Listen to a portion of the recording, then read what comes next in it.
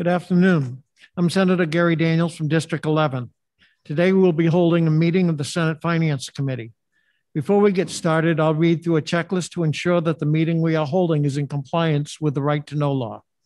As chair of the Senate Finance Committee, I find that due to the state of emergency declared by the governor as a result of the COVID 19 pandemic, and in accordance with the governor's emergency order number 12, pursuant to Executive Order 2020 04 and its extensions, this public body is authorized to meet electronically. Please note there is no physical location to observe and listen contemporaneously to this meeting, which was authorized pursuant to the governor's emergency order. In accordance with the emergency order, I'm confirming that we are providing public access to the meeting by telephone, with additional access possible by video or electronic means. We are utilizing Zoom for this electronic meeting. All members of the committee and selected legislative staff have the ability to communicate contemporaneously in this meeting through this platform, and the public has access to contemporaneously watch and or listen to the meeting on Zoom or YouTube and via phone by following the directions and links provided on the General Court website. We have provided public notice of the necessary information for accessing the meeting in the Senate calendar. We are providing a mechanism for the public to alert the public body during the meeting if there are problems with access. If anyone has a problem, please email remote senate at leg.state.nh.us or call 603 271 6931. In the event the public is unable to access the meeting, it will be adjourned and rescheduled. Please note that all votes taken during this meeting shall be done by roll call vote. Finally, let's start the meeting by taking roll call attendance. When each member states his or her presence, please also state where you are and if anyone is in the room with you during this meeting, which is required under the right to know law. I will call roll. Senator Rosenwald. Good afternoon, Cindy Rosenwald, District 13. I'm in the Senate chamber. Senator Guida. Senator Bob Guida, District 2, present in the Senate chamber. Senator Hennessey. Erin Hennessey from Littleton in the Senate chamber. Senator Morse. Senator Chuck Morse, I'm in the Senate chamber. Senator D'Alessandro. Senator Lou D'Alessandro, I'm at home in Manchester and my wife is in the house. Yeah, Senator Reagan is excused. Uh, will be joining us later. And uh, I am Senator Gary Daniels and I am in the Senate chambers. Our first order of business today is with the Division of Medicaid Services. And we welcome them today. Good morning. Uh, Deb, I'm, I apologize. I'm sure this will happen throughout the day. Uh, we also need David Wieters uh, to be brought over. And I let Henry know not to share his screen until he makes it over. So Henry, if you want to start the presentation or um, at least do the introductory while she brings Dave over, they do have the presentations in front of them. Oh, there he is. So you're good to go.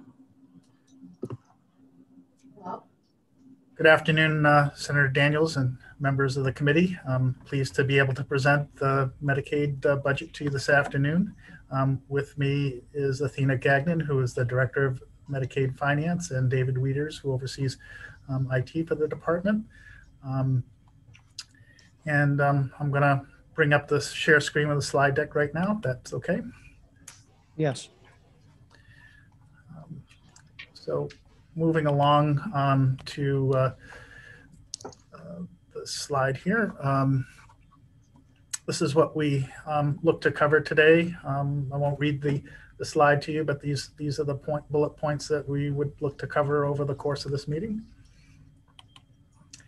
Um, I think that you know Medicaid is probably one of the more well-known programs with respect, at least to the health insurance component of it, and you know, basically the the department uh, and Division Medicaid Services tries to provide a very um, effective and efficient program for the nearly one in seven that we typically serve um, during the public health emergency. Um, we're now serving servicing approximately one in six.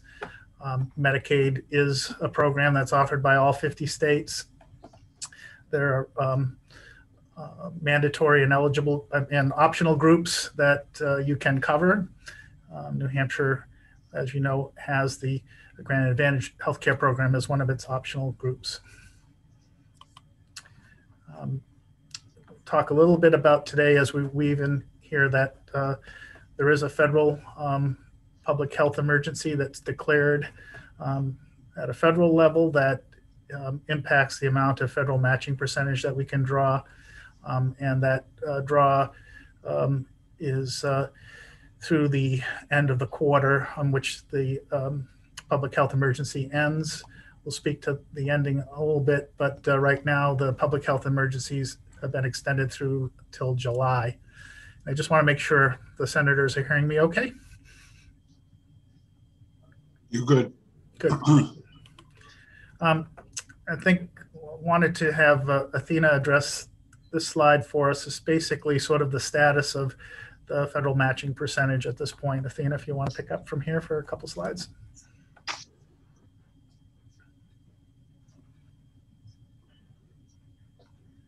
You're on mute, Athena. There we go. That's much better, right? Aye. Okay. Um, so I just wanted to um, go over this slide with you. I wanted to map out for you the enhanced FMAP that we've received to date compared to what our standard FMAP would be. So beginning with January 2020, states are allowed to go retroactively to the first day of the quarter in which the public health emergency period started. So we were allowed to go back to January 2020. So I have it broken out by the four different populations. Standard Medicaid, which normally receives the standard FMAP of 50%. During the public health emergency period, we are allowed to receive an enhanced FMAP of 6.2%. Breast and cervical cancer typically receives a standard match of 65%. During the public health emergency period, we have been claiming an additional 4.34%. Now, CHIP is a little different because it was slated to slowly start to reduce uh, to get to a standard of 65% in Fed fiscal year 21. So again, throughout the quarters, we've been claiming an additional 4.34% over the standard enhanced FMAP for CHIP. Now, family planning services, we only ever received an enhanced FMAP of 90%. We were not allowed to claim anything over that 90%. In that bottom, yeah, Athena, when we get to, to family planning, do you want to go through this presentation and then we should query you about this? yes, Family Planning? Okay. yes, please. Okay, With a thank name, with a name like Athena, I, I always gravitate toward the goddess of love, and I know you're there and doing great things for me. So please uh, accept my apologies for interrupting, but I'll get you at the end. Okay, thank you. You're welcome.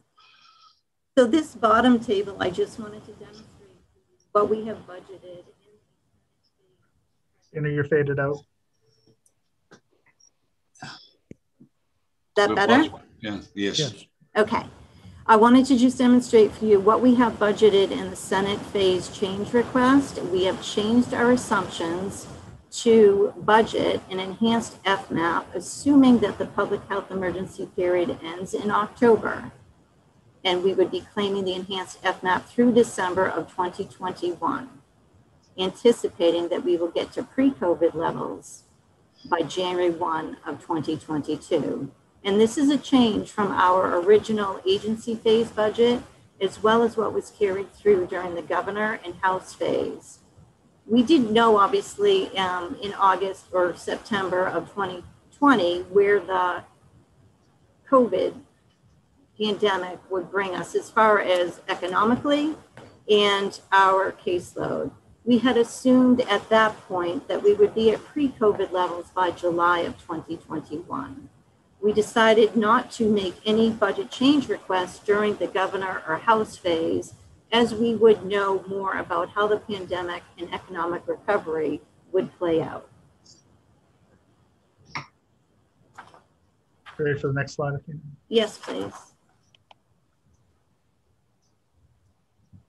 So this is an important slide. We update, monitor our enrollment on a daily basis. And what we wanted to show you here was how our caseloads have actually increased from pre-COVID um, numbers, caseload numbers. So for the period of March 16, which was two days before the pandemic was, was determined, um, through April of 26, broken out by our Granite Advantage and our standard Medicaid population.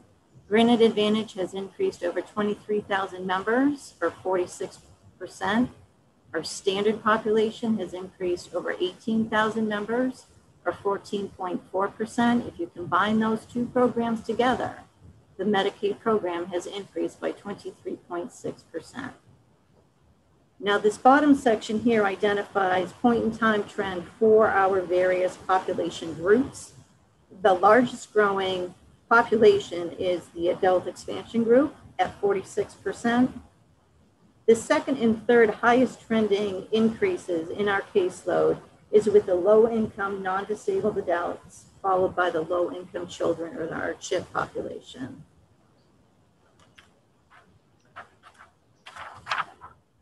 So um, picking up on slide nine, um, what I just wanted to show uh, the senators is that the uh, growth in enrollment has been uh, across the board in each of the categories across the state.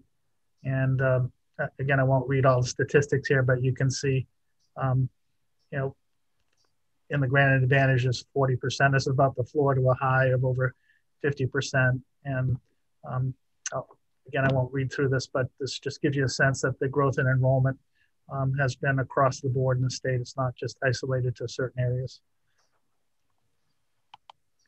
Um, so in, in the, um, our presentation today, is three areas that um, Karen, I think, touched on as part of the OCOM presentation with you on Friday. Um, you know, Senate Bill 150, uh, which I know passed the Senate, at least on a policy basis, 24 to nothing. Um, in terms of actually implementing that, uh, we um, look to uh, request in state fiscal year 23 with a start date of, of 1 of uh, 23. And so that we would need 1.4 million in general funds to accomplish that. Total funds of 2.9. Again, I think pushing it out to that date makes sense given all that's going on and to allow the enrollment to reach a more normal normal level so it's more affordable. Um, I know in and out um, was discussed also on Friday. Um, I think what I'd highlight here is that because of the public health emergency and state fiscal year um, 22, we can calibrate down to 2.7 million, uh, what would be required in general funds um, because it at, during the public health emergency, people are not going out; they're just staying enrolled in the program, and then the additional funding to uh, accomplish the extended um, home visiting uh, for prenatal uh, and child and family. That uh, the appropriation there, um, we need some additional money to be able to fully implement what was in the original Senate Bill 274. Um, Athena, this is our um, change request table that you know, we can walk through here. Um, and if I need to move the screen around, please let me know. Thank you, Henry. So what this slide demonstrates you is it i- itemizes the. Your um, your mic isn't up.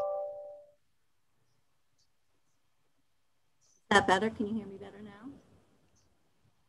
Okay. So this slide demonstrates the budget change request for the Division of Medicaid Services by accounting unit. So I'll just go through them briefly. The Medicaid Administration account, we're asking for an increase in 22 and a decrease in 23. It's 100% federal funds, and it's to align with the New Hampshire Hospital DISH budget. The next item is the state phase down. It is to fund the premium increases. When we built the agency phase budget in September of 2020, we didn't know at that point in time what the Medicare rates would be for calendar year 21. They're published in October of each year. So what this does is just level sets what the rate increases will be. And I think this was also requested of the governor to add to this phase from the House. Correct. Thank you, Henry. Now for the CHIP accounting unit 7051, it actually shows a decrease in general funds and total funds in general. What we did build into this budget was the increased FMAP anticipated to be received through December of 2021.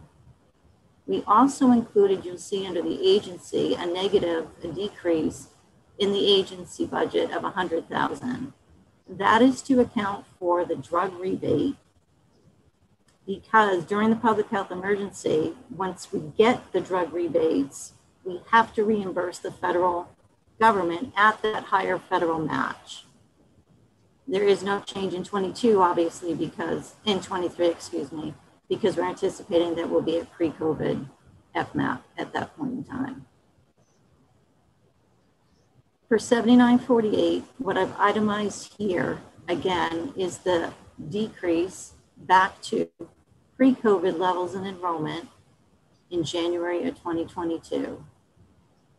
The decrease in agency income in fiscal year 22 again is tied to the drug rebates. No change in fiscal year 23. What we've also included in the 22 and 23 budget is an increased federal match for family planning for the capitation payments. It's something that we have not yet done to date. We've been working with CMS to get them to approve a methodology to claim that enhanced FMAP. The next items on the list are tied to additional change requests, which Henry covered in the prior slide, to fund transitional housing, rates and increased beds, the medically needy in and out, and funding the adult dental program.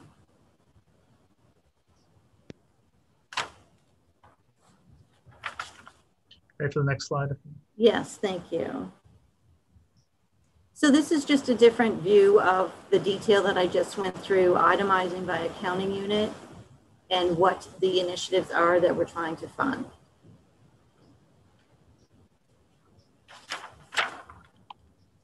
Yeah, thank you, Henry.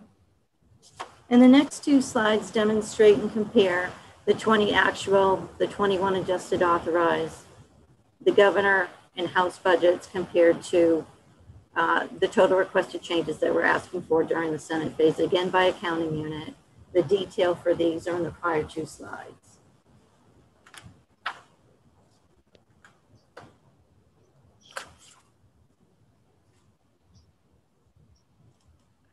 Continuation of of that, right? Thank you. So um, I'm going to pick up from here. I guess the the one thing that I wanted to highlight on the slide, because I know OCOM covered um, the staffing situation in Medicaid. Probably our, our largest need is in the MMIS area. Um, currently, we have a 100% vacancy rate. Um, the governor um, also added uh, temp position there. So we're technically right now um, eight positions down um, to um, to cover that in terms of um, what's included in the budget in terms of implementing it um, and why it's important. I'm going to transition the next uh, slide to Dave Wieters um, to speak to to that, and I'll I'll probably add a little bit of commentary. But I guess I would say that, and if you're looking at the the House to um, governor comparison that the the House and the governor um, funded it at nearly equal levels. Uh, the House uh, put um, funding in the HB2 as opposed to HB1. Dave, I'll have you come in at this point. Thank you, Henry. Again, my name is David Wieters. I'm the Information Services Director for HHS. And I just wanted to start with the MMIS or the Medicaid Management Information System. As you know, has been around for, for many years. In 2015, uh, we certified the system, which provided an additional 25% of federal matching funds, reducing the burden on our state's general fund. So that that's important. In order to maintain our certification, we have to do certain things. Um, one of them is ensuring that the security and the software and the hardware is is maintained at a current version of support and, and um, sustainability. in order to do that, we submitted a budget for the two contracts that maintain this system. The Conduent contract for 9.9 million per year for the next five years is our planned extension, but 9.9 million for the next um, next two years for the biennium, and then for our our NTT data contract, which is our quality assurance contract, which is required by Center for Medicaid and Medicare Services to have a third party quality assurance contractor review all changes to the MMIS system is is budgeted for 2.2 million each year in general fund. So those are general fund dollars of impacts. Um, and those are really important to maintain our what we call life cycle management of the equipment, uh, the hardware, the software, and the, the overall running of the system. There's many other things on the slide. I'm basically talking to our reprocurement strategies and how we're moving forward in the future. But if we can move to this next slide, I'll talk a little bit about the additional items that are budgeted in the MMIS um, line items, which is really penalties to a, that were associated with a lack of funding in this current biennium to implement services. So what we by the 21st Century Cures Act required all states to implement electronic visit verification system, which is goal to support the prevention of fraud and abuse of the of the billing and claims of the systems, as well as ensuring that the patients receive the services that are being billed. We are currently submit we submitted a electronic visit verification system capital budget or EVV capital budget to implement in this next biennium to reduce our, our penalty burden in the in the future years, but we are currently incurring penalties right now. Based off of the the current penalties, you'll see on this slide it says 22 23 EVV penalties of 3.1 million. In actuality, after discussing with CMS, they're going to incur the personal care fees of 1.5 million in the next biennium, and we will be on the hook for the home health care penalties if we if we continue to not implement the EVV system in the in this next biennium. So the reality is at the at the very very high level, our budget right now is to currently maintain and operate the MMIS system, and then also address the penalties that we're already um, already being billed for in this bi- this biennium and will be billed for in the future biennium. Just a quick question, David, on that. What what are we being billed for as we speak in terms of a penalty? That's something I can go back and work with Athena and the finance team, but I'm I think it's just under half a million for this year. For this year. It's, a, I believe, a half percent, uh, Senator, to start with uh, as of January 1 of um, of FMAP penalty on personal care services is what it starts and it increases over time as a percentage. Well, and, and, in, and in order to in order to conform, we need what 12.2 million in 22 23 and then a maintenance cost of 19.3 so i apologize. Yeah. I apologize uh, senator um, D'Alessandro no, the, the full budget is to com- be compliant with all of the uh, state and federal legislations to run the system. The EVV system itself is a capital budget submittal of $5.6 million to implement, of which we're getting 90, we're, we're anticipating 90% federal matching dollars. So the general fund burden is $564,000.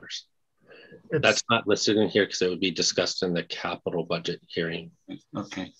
Thank so you. I think the the major thing of just jumping back one slide is, you know, the the software and hardware we're running on is dates back to 2007, and that in terms of from a security standpoint and from a, a life cycle support by software vendors, we're reaching the point where a whole system certification's at risk, and um, you know, in terms of the shortfall um, over last uh, the current biennium that the, the shortfall, if we lose that certification, is worth as much as what it would take to, to, to provide it compliantly. That's that $6.6 million number here on slide 17. So I think the, the issue is we're kind of, we've, we've delayed as long as we can. And now we're at risk both financially as well as from a security standpoint, both from, you know, protecting um, health information as well as, you know, uh, failure of the system in terms of concerns about uh, being able to pay providers timely, which is very important. We know. Um, Of course. I think But, but when we, when we get into this software business, don't we, don't we purchase upgrades or don't we have contractual service that says when a new rev comes, we're, we're in the, we're in the queue to get it? And that's how we stay, that's how, how we stay ahead of the game? I mean, a, sorry, Senator. That's a very valid point, Senator. Um, yes, we normal we do that with all our existing contracts. This original contract, at the direction of CMS back in 2007, was um, directed for us to own and uh, own all the hardware and software per, as a state. The newer contracts, what we do, and we will with this this renewal, incorporate those costs and and have the burden on the vendor to maintain and operate those additional revs. So going forward, this the new contract and the new funds that the, the funds that we're requesting will will do exactly what you're you're indicating, which is the way um, business works in, in most environments. Yeah. CMS changed their direction over the last um, 10 years on how we can write our contracts, allowing us to do this now. Right, because it hasn't this been, and I don't want to spend a great deal of time because you, your very time is very valuable, but but this MMIS thing has been on the plate. I've been around here a long time. It's been around for a long time. These problems, like forever. Senator D'Alessandro, if I could Yes. address that a bit. I think it, going back in, in time, um, you know, the, the system was purchased and um, the implementation was started when we were under a fee for service uh, approach to providing all the Medicaid benefits. And the transition to um, to managed care occurred after the start of it. So I think a lot of the startup problems were associated with the change in policy. I think that reflected in, if you will, the, the the more, if you will, modern approach to do this is more on a modular basis so that you're um, not taking that kind of risk um, Yeah. that we took back then.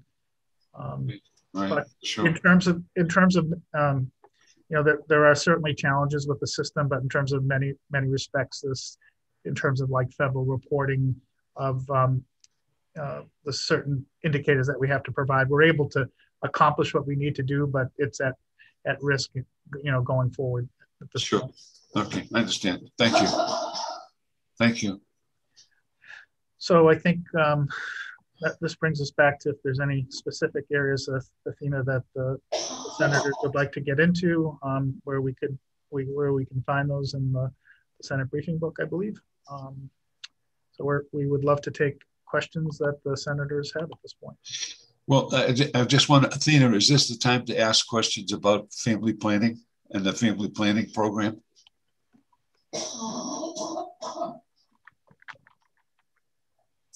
Athena? Yes, uh, you have a question, Senator D'Alessandro? Uh, ye- Yes, Mr. Mr. Chairman. Uh, At the beginning, I asked, uh, uh, my question was when, when would it be appropriate to uh, get some background questions on the family planning program? I think we, I think we can take those if that's okay with you, Senator Daniels. Is it okay, Senator Daniels? I, I didn't hear the answer. Oh, excuse me, go ahead.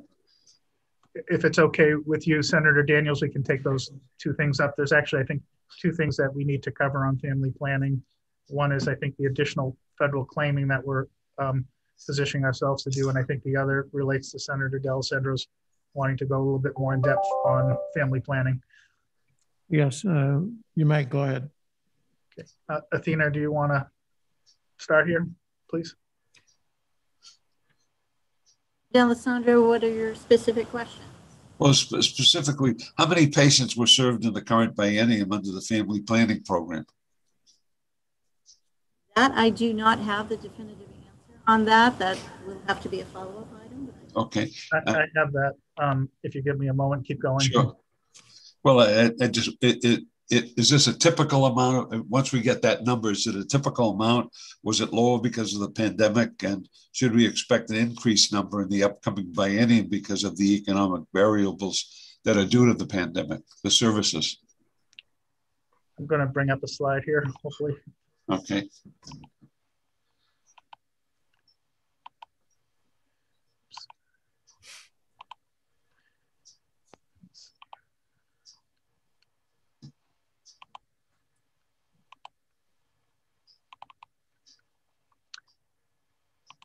try to make this bigger. The, um, Well, um, Fortunately, the controls are in the. Uh, right Press, corner. press the plus sign. Yeah, I, I'm, I'm trying to, see, I need to move the, there we go. oh, great, a lot better. Yeah. So the um, family planning um, is right on this line right here that I've highlighted. Which I think there's some discussion of family planning from a public health standpoint. These are the people who have the family planning. Um, you can see that there's been a an increase um, um, in, in recent months, but it's lower than it was back in um, around the start of the pandemic was around 836 today we're sitting at 722 at the end of end of march Do you think that was a result of, of, of the pandemic and will it increase now that we're moving out of the pandemic? uh, you know I, I don't really have a, a sense that we're talking about you know more than 100 either way uh, senator i think that people may have been able to qualify temporarily for a, a more generous uh, category because of income issues so i would think that we might see some drift as the public health emergency ends from say other uh, eligibility groups back to this uh, based on people's income status What, what, we- what we heard in the, in the morning presentation from uh, Employment Security was that many people were making, were making more money under the, you know, under the benefit program. And as a result of that, may have lost the ability to get certain services. Is, is that a correct assumption? Because they, they, and, and uh, they were, they were, as a result of that, it, the individual income in the state increased. Senator D'Allesandro, thank you for the question. The, the federal additional monies did not count against eligibility. Um, so they, there was an income, if you will, disregard in terms of the additional um, uh, unemployment assistance. So that may not have been a factor. Um, the state assistance was subject to, to, to that, but um, I think that, you know, generally, you know, the, the increase in enrollment that we've seen here, we had predicted at an earlier point at the very beginning, I think back in May of 2020, that we'd hit about a 39,000 increase. We had seen a, a different actuarial um, look at this that was published nationally for each state, and they predicted between 43,000 and 115,000, 105,000 for New Hampshire.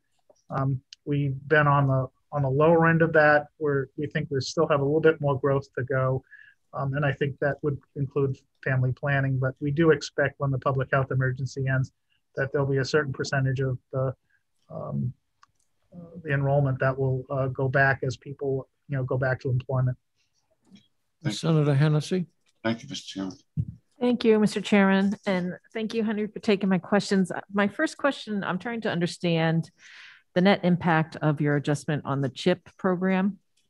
And just looking at the budget, um, one, um, what what does the increased FMAP do to the general versus federal funds for us? And is the decline, the expected decline in the program offset by the increase in the federal funds? So I see a huge decrease in federal funds overall. So uh, thank you for the question, Senator. We we were going to cover this, see if it came up as a question, but in the most in the biennium we're in now, we moved um, children into one category. That the the um, unit that you're looking, the accounting unit you're looking at, included both chip and non-chip children, and we tried to do that so that we could have better um, budgeting going forward. As it turns out, as we've had experience um, over the biennium, we felt it was more appropriate to just include in um, this accounting unit only those that we get the enhanced match on. And so we're moving back into the standard program, the 7948. Um, those children who do not get the enhanced match. So what you're seeing basically is a shift in the accounting unit. We do, we are picking up more federal funds for a period of time, as was shown in, I think, on slide seven. But that that's kind of a, if you will, the noise in that account that you're seeing. It's just a shift in just making it um, exclusive to those enhanced match children. Um, there's no reduction in children. We're seeing actually an increase at this point. Oh, thank you. And then I have a question on the follow-up. Uh, on the Medicaid to Schools program, the actual in 2020 seems a lot lower than I would ex have expected because of how long the schools were open for. Um, and that, and also based on the fiscal 21 auth adjusted authorized number. Sure. You, is there a time lag or something that made that number so low or? So in, in July of uh, 19, July 1st of 19, CMS issued um, some uh, guidance that pointed to some areas where New Hampshire needed to make some changes. You may remember Senate Bill 694 that passed just before the pandemic um, started. For example, um, some of our provider types in the school setting, for example, school psychologists, um, while may have met the definition under the Department of Education, weren't qualified treatment providers under um, Medicaid, and so the um, so the change in legislation and the change at uh, at the OPLC level allowed some of the providers, uh, the psychologists and speech pathologists, um, and there were some other, not remembering off the top of my head, but allowed them to become qualified treatment providers under Medicaid. We, we had an issue of, of uh, compliance, if you will, in terms of making sure that the providers who were billing um, were um, qualified treatment providers. The second thing was that um, uh, all Medicaid services require um, an order or uh, either by a physician or a nurse practitioner or, or other qualified uh, treatment provider in so that um, there was a reliance on um, the um, I, IEP plan as being the order and we needed to move it to um, actually getting an order from a, a, qualified treatment provider. So there was some uh, delays as, as schools um, transition to this um, these changes. There are other changes, but those were some of the major ones that affected um, the, the billings. And um, we are able to, to claim enhanced FMAP for, for the schools. And we, we um, expanded our, our billing window for schools. But I think with the pandemic and other issues and getting things in place, um, there was a loss of, of uh, billings in that year. We expected that to, to bounce back when we put together the budget in 2021, um, um, but uh, state fiscal year 21. But obviously, the pandemic um, affected that. We're with more experience and working regularly with uh, stakeholder groups in the schools, where um, the number we have in this budget, I think, reflects more realistically what what um, those changes may mean. Um, you know, with the expansion of telehealth as well, there are other opportunities to to uh, bring back billings. And um, we certainly want the schools to to be able to uh, participate in the program um, as much as possible. Um, and we've been doing a lot of work to try to support schools. And um, we've even worked with the New Hampshire Charitable Foundation, who um, who uh, put together a, several hundred thousand dollar grant to provide additional support to schools and helping them navigate Medicaid uh, compliantly. Thank you. Further questions? Senator Rosenwald.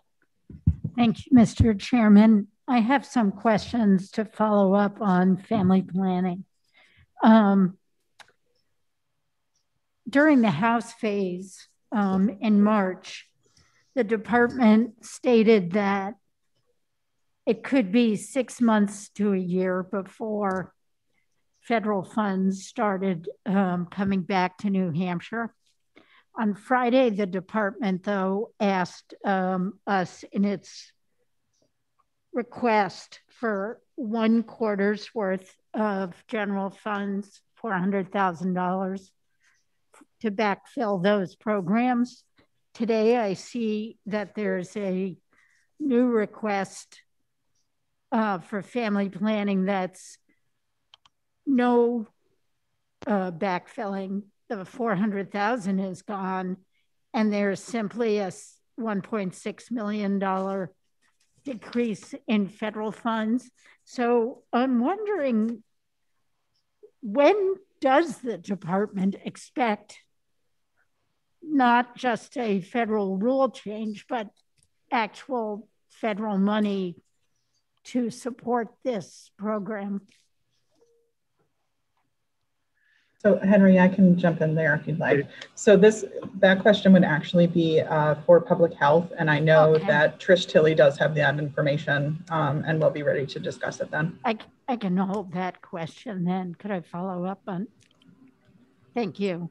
Um, in order to, and maybe this is for Trish as well, in order to qualify as a provider for family planning, do you have to be a medical provider? I mean, are there any other providers in New Hampshire that are non-medical that could qualify that you're expecting? Generally, the, the, in order to be able to bill Medicaid, you have to be a, a qualified treatment provider as licensed by the state Office of Professional Licensure in New Hampshire's instance. So um, there may be a specific area that I'm not aware of that where people can do billing to public health, but in terms of the Medicaid program, um, But not really- the crisis pregnancy centers, which are non-medical. Okay. And, and finally, um, on the House Bill two provision that was included in the House phase, do you, uh, could you describe what federal funds impact for Title 10 might occur with changes on the federal side? Would That we would be also- risking federal funds? That would also, funds. that would also be a question for, for Trish. Great, thank you. You're Welcome.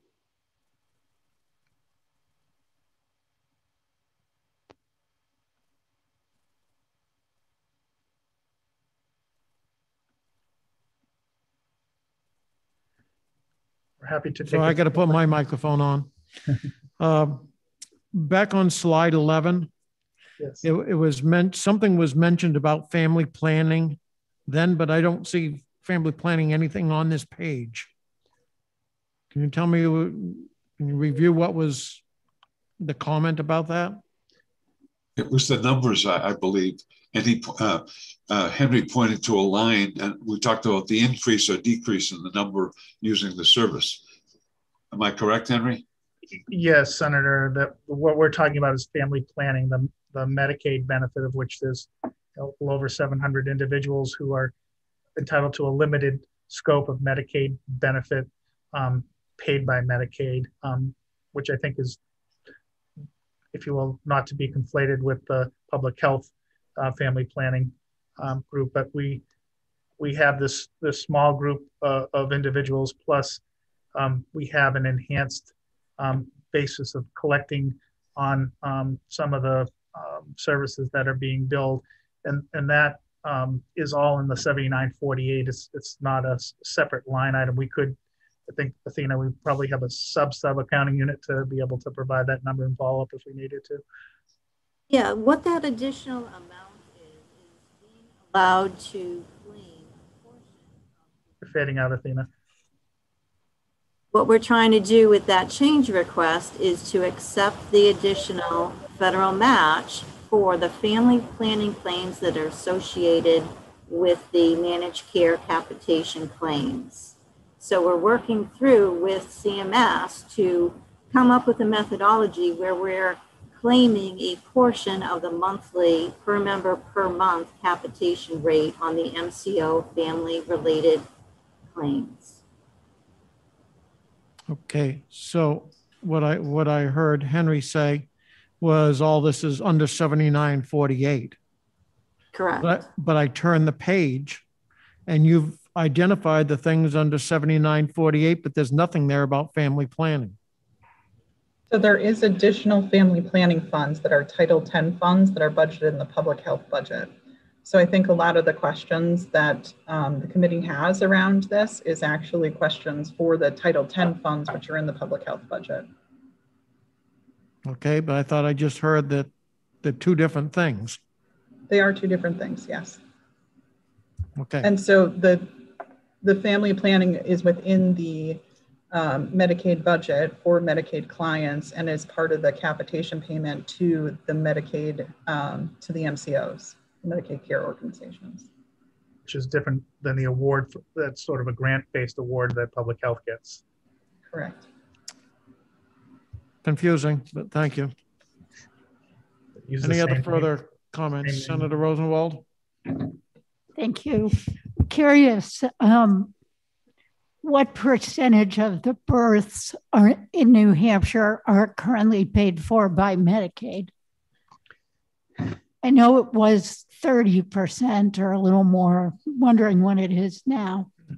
I think that's still a good number, Senator, around thirty percent, but it varies from, you know, in the upper forties to, to, you know, around twenty percent. And, you know, typically, if- if you follow the areas of the state that have uh, more challenging economics, you might find it forty percent or more of the births are, are Medicaid, and then other areas it's closer to twenty percent.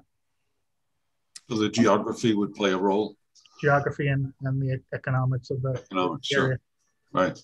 like um, you know in an inner city like manchester you would expect to have more than some other like the more rural areas Right. But I thought, I thought your numbers stated when you started out that you said one in six, which comes out more like 15 to 17%, not 40% or 20% or 30%. so the one in six statistic senator daniels um, or the one in seven statistic is what of the entire uh, population whether it be children or births or it's the entire um, that slide i believe it was slide five that had the chart that showed the the enrollment of 219,000 you know, roughly 219,000 divided by about 1.35 million. Um, total population comes out to about one in six. Um, and it's more typically of the entire state, it's, it's typically more typically one in seven. In New Hampshire, just by comparison, you know, around 14 to 16% of the population in Medicaid compares favorably to um, our neighboring states of Maine and Vermont as examples. Okay, thank you. Senator Giuda.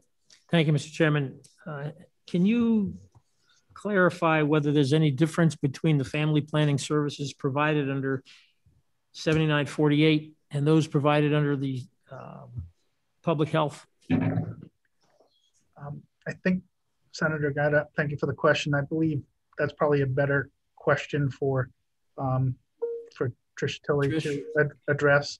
But um, uh, I think generally it would only be um, in the Medicaid program for state plan services. Um, and so it would, there may be things outside of state plan that the grants can cover, but we can only cover what's in our, our state plan. Follow Follow up? Could you provide a list of what's covered under that plan? Uh, it, it actually in the, the Senate briefing book, um, under 7948, there's a, um, a list of all those services that we cover, I think at a pretty good level of detail. If, if you, uh, um, would, um, my phone number here is in the presentation. If, if that doesn't answer your question, I'd be happy to follow up with you further, Senator Giuda. Okay, thank you. Any further questions? Uh, I guess I would just ask, um, how, how do you determine success and the money that you're using to put toward Medicaid? Thank you for the questions, Senator Daniels. I think there are a couple of different ways of looking at it. Obviously, there's um, an access metric um, there, but there are over 300 measures that we we look at. Um, but I think um, CMS um, has a set of sort of uh, child outcome measurements, for example, for for babies and infants. New Hampshire's typically in the top two or three in the country with respect to the metrics that um, CMS uh, monitors for that. So I think in terms of um, you know what we do for for children and for for um, young children in the state in terms of our our metrics are generally um, you know near the top in, in the country. Um, so there are these various measures. In fact, you know one of the things I had contemplated putting in here um, is giving a, a, presentation on the quality metrics. I didn't know that we would have the time. Um, be happy to um, uh, spend some additional time and show you um, the detail that we that we track. Um, but I think, you know, there are a number of areas where New Hampshire um, does well. There's some areas that we need to improve on. Um, there's some things that, like for example, you know, listening to the OCOM presentation, some of the questions you asked on Friday, you know, like the follow-up after um, an emergency room visit for someone on SUD or a psychiatric. You know, we we've got pretty good comparative metrics, but I would say the state of the state in the country is we need to do better, and we're trying to focus on doing better in those areas. So I think then the overall rating of our health plans um, by the NCQA, um, National Committee on Quality Assurance, that that accredited accredits uh, health plans. Our, our health plans have done, you know, well um, comparatively in that space. We've been typically in the, um, you know, there's a maximum we can get of five, but I think uh, in the last few years we've had our plans either four, four and a half um, on the scale of one to five. Uh, but there's a lot we could share with you in that that space, and um, I just didn't think we would have time to do it justice in an hour presentation. I'd be happy to follow up with you individually on that if you'd like. Okay, thank you. Seeing no further questions, uh, does that conclude the first part? Yes. Thank you, Henry, Thank Adina, and Dave. Appreciate next, it. Th- Thank you very much. I our do. next presentation is Oops, public uh, health. uh, Hold, hold on one second. It looks like Senator Rosenwald has a I'm question. sorry, uh, thank you. I forgot to ask, in transitional housing, of the $5 million that was appropriated in the current biennium, how much is still there um, after adding 18 transitional beds? And will it lapse or not? That question uh, would actually be directed to Katja, um, who is up in a Okay. couple of presentations. Sorry, who was on your slides? Thank So there are transitional housing funds in the Medicaid budget um, as well. Those were general funds appropriated specifically for new beds. Henry, do you want to speak to the transitional housing funds in Medicaid? Sure. Um, in um, the current year, we're working on um, trying to get more of the, the beds stood up in the the um, community mental health center space, and um, trying to uh, deal with the rates to an equivalent basis as transitional housing general. And then um, we're proposing what's in the budget here is to allow for an expansion of transitional housing uh, beds in, in the, the next biennium. Um, we're hoping that we can, those beds, which are uh, currently, we have about 60 or so beds that are, um, the community mental health centers provides care to Medicaid patients. We're hoping that we can almost double that in the next biennium. Follow up, please. Follow up? So um, the department has, has told us that they can't find contractors for the other um, 22 beds that we funded because our rates are too low. Um, so this money you're requesting for rates, is that not for the transitional housing beds that we thought we were getting in the current budget? I think it's a, a combination of things. I think the, the beds that are sometimes called community residential in the, uh, um, in our, our budget, um, that's part of it. And then, um, I think, um, probably Katja is better to speak to, the- to the rest of what is, um, trying to be, uh, done through the RFP process. But what I'm talking about are those beds that are covered through managed care. Oh, for the waiver. Thank you. Okay, seeing, seeing no more questions, thank you very much. And we'll go on to the Division of Public Health. Okay, there's quite a few people to come over for this, so I'm sure it'll take a minute.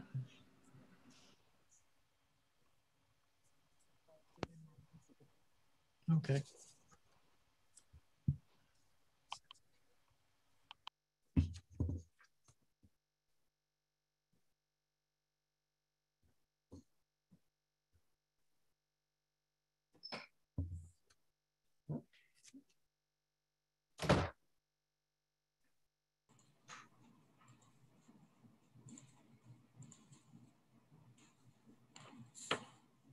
Hello, Senators. Hello, Senators. Hello, Senators. Hello, Senators. Hello, Senators.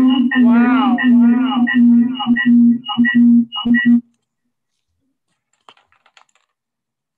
Hello. That's really, that's really using your dollar and expanding it. Clearly, I, um, I cannot use the phone and the computer at the same time. I apologize for that. Um, good afternoon, Senator Daniels and members of the Senate Finance Committee. I am Lisa Morris. I'm the Director of the Division of Public Health Services. And uh, you may not know that I'm retiring in a few days. Oh, no. Uh, yes, I am. Uh, Patricia Tilley, who uh, many of you know, if not all of you, has been named as interim public health director. Uh, and Shelley Swanson, um, also our health finance director, will be presenting our budget to you. I want to thank you in my departing words. I want to thank you for your continued support of the work of public health, and I wish you all well. Uh, Tricia, uh, you're on. Well, well, uh, good afternoon to everyone. And again, thank you for having us here today. Before we get started, I just want to thank Lisa for all of her guidance along the way. She has helped us stay in financial good shape and has steadied the boat for us. And I hope to be able to continue to provide the um, kind of leadership that she has in the past. So thank you. Um, and I will go ahead and get started. And Shelly is going to pull up our slides. She's going to be my co-pilot for today. So thank you, Shelly, if you can do that. that Actually, would... Shelly, Shelly, can you stop sharing for one second? I don't think that Deb got quite everyone over and she can't bring them over while we're sharing. So just oh. one second. I don't see, um, uh, we're missing, we're missing somebody. We're missing Beth Daly. Thank you. Beth, Beth Daly and, and Ian, if Ian is on board. Oh, I don't think I provided Ian's name, so that. That's okay. It's fine. That's great, but we will need Beth to come over at some point. Could you, could you, re, could you repeat the names of the people who are not there yet? I actually don't see Beth in the audience, so I'm not sure if she was able to make it. I'll check with her. Okay, and I don't see Ian either. So I, I think we are good to go if if they are able to join, if they can just text Trish and we can stop sharing and bring them over. Okay, very good. So uh, you can, can go back to sharing your screen. Thank you, Shelley. You can skip to the next slide. That would be great. Super. So I, again, I want to thank you for having us here today and the opportunity to talk about the work of public health. And, you know, I think while all of us are familiar with the incredible efforts of Dr. Chan and Dr. Daly as part of our COVID response, the entire public health team has been working at full tilt to ensure that we meet our mission of protecting, promoting, and improving the health of New Hampshire residents, not only from the threats of infectious disease, but they have also been keeping our lab working, our cancer and prevention screening programs running. Our food inspectors have been out in the community working hand in hand with our restaurants as they navigated all of those COVID protocols. Our maternal and child health programs, our home visiting programs have been supporting families. You know, children have been getting their routine vaccines. Our data and informatics teams have been creating public dashboards, and our emergency preparedness and response teams have been managing millions of pieces of PPE and ensuring that they get to hospitals and nursing homes on time. We can go to the next slide. Um, you know, in this next hour, what I hope to touch on are some of the high points of many of our initiatives and then jump into the details of the budget. I'm going to fly through many of these slides so that we have enough time dedicated to the numbers, but please feel to stop, uh, feel free to stop us and ask questions and, and dig a little bit deeper. We're gonna ask you to keep in mind the broad mission of our work and the essential services that we provide to protect the health of, of all people in our state and in every community. We target evidence-based strategies that we know will improve health and we try to ensure equitable access to high value, effective, and preventative focused healthcare. We collect and analyze data about health status and all with the out ultimate outcome of improving health outcomes. So we can skip to the next slide. But as we get down to brass tacks, here are some of the highlights of the division. We've got eight bureaus. We have about 250 staff. We have about 344 current contracts. Our funds mostly come from the federal government, although we have significant number of other funds that come from fees and um, things like our rebates or relationships with our insurers. And our total budget has only about 16% general funds. You can find all of these funds in our 70 accounting units. This is the most of any division in the department. And please note that this does not quite account for the significant investments that we um, understand will be coming and have been coming from the federal government for COVID response. So we can go to the next slide. So what do we do with this investment of federal and general funds?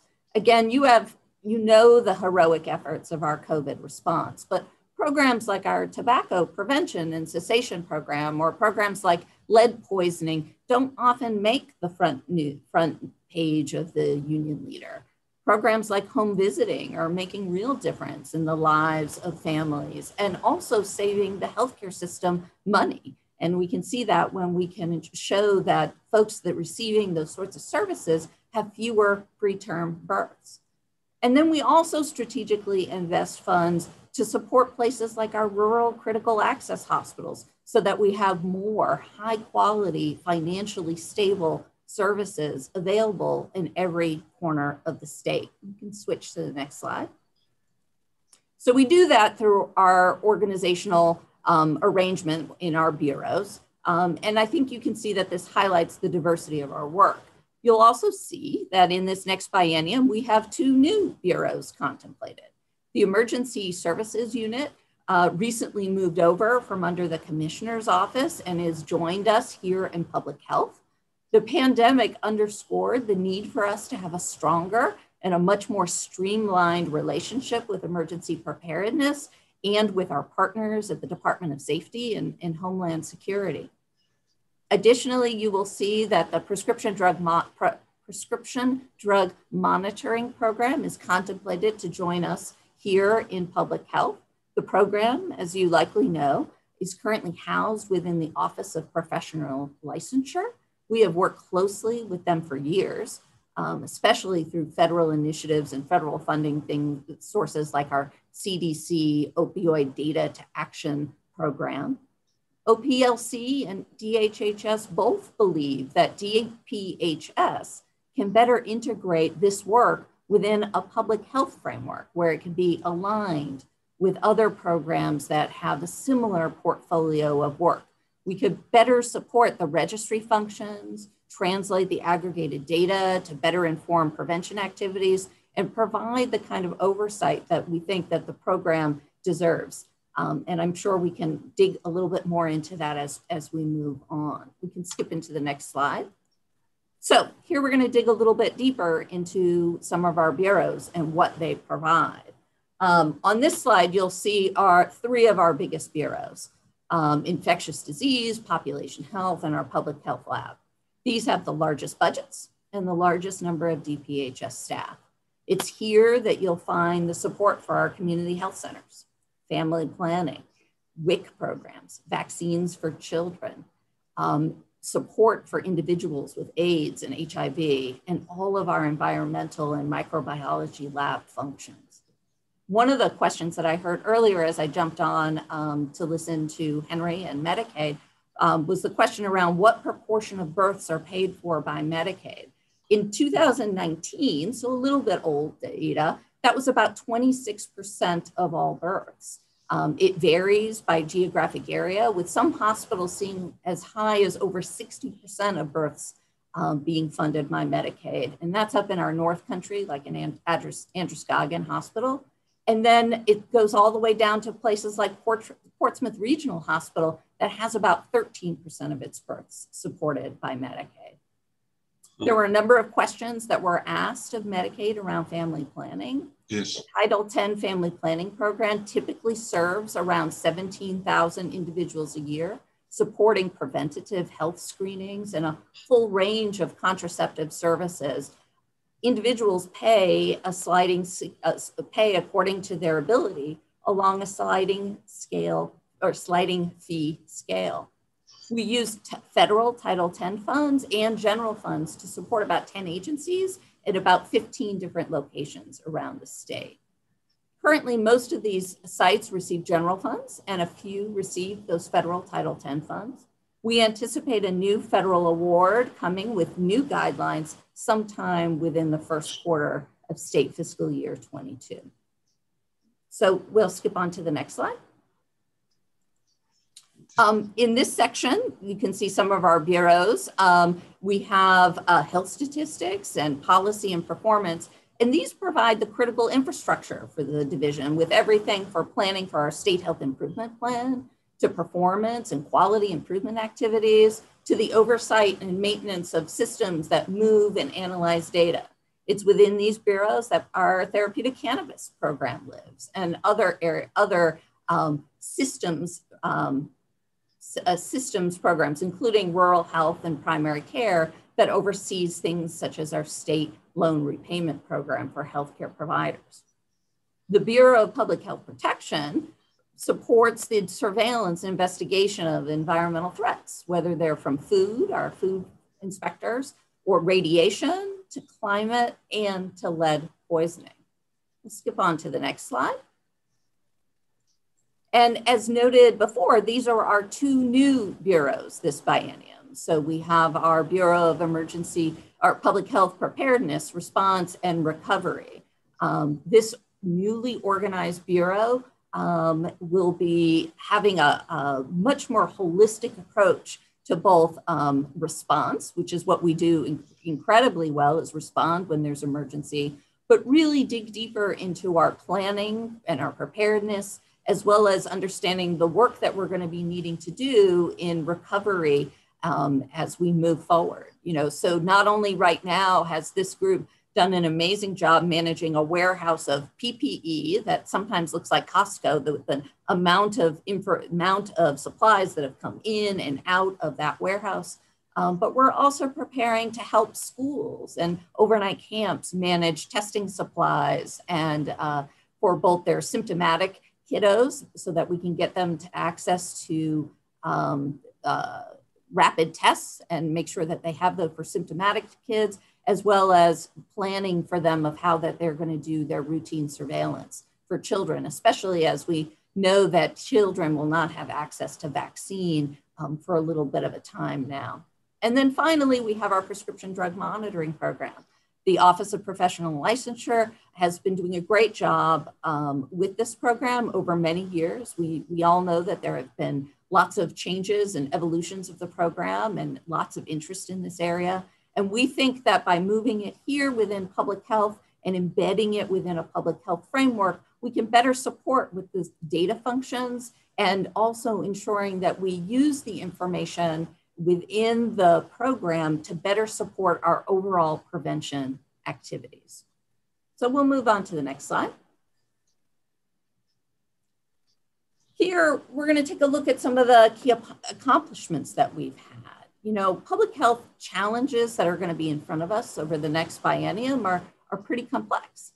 Uh, but we're prepared to meet them head on as we stand on the foundation of, of many of these achievements the COVID 19 pandemic, as, as you all know, has strained and stressed almost every part of our lives. But our team was able to work with the National Guard, with Homeland Security, and, and most importantly, our community partners to meet the immediate challenge of testing, investigating, contact tracing, and vaccinating. Our population health teams work hand in hand with the Division of Economic and housing supports to ensure that, um, that things like healthcare was accessible, children had access to food, and that families were supported. But as we plan now together for the recovery from the pandemic, we must avoid the temptation to sort of hope for just a return to normal. And instead, I think we're going to lean deeper into transformation and reinvention of what services look like and what we should be planning for in the future. The foundation of all of our work rests upon our ability to appropriately plan, both for internal operations and for broader health outcomes, and our ability to integrate our work across the department, across state agencies, and with our community partners. And as we develop our state health assessment and our state health improvement plan, there is no doubt that it will touch on many of these cross cutting issues from environmental health to adverse childhood experiences to the opioid epidemic that is still out there to the sustainability, support, and equitable access to our healthcare system. So we can go to the next one. As we look, you know, certainly um, our not only has our infectious disease team been focused on COVID fully, you know, 24 7, um, but we've also done amazing work responding to other threats, such as hepatitis A. Our laboratory has stepped up, and the volume of work that they've done is just extraordinary in the past year and has really proven the um, success that we have in the work that we have. And it's built on the um, expertise of those that are there. And finally, in, in our emergency preparedness, as I said, we have you know, maintained and distributed millions of pieces of PPE and other items in response to COVID. So we can switch, go on to the next slide, please. We've also had success in the past two years improving some health outcomes and improving new and developing new strategies to meet very specific populations. You know, for example, we know that adult smoking rates are down and in part, that is due to the work of our tobacco prevention and cessation program and our quit line. But yet, our youth vaping numbers have gone up. And with increased, you know, so we have been able to then focus and pivot and put in new supports to really meet this new challenge that looks different than the tobacco prevention programs of the past. You know, we've also seen things like with increased supports for things like school and community based dental programs, that the incidence of caries among children have gone down. It's one of those great times where you can see where there are investments, the health outcome go, moves in the direction that we want it to move. We've supported our healthcare system and improved access to care with pandemic support for our critical access hospitals.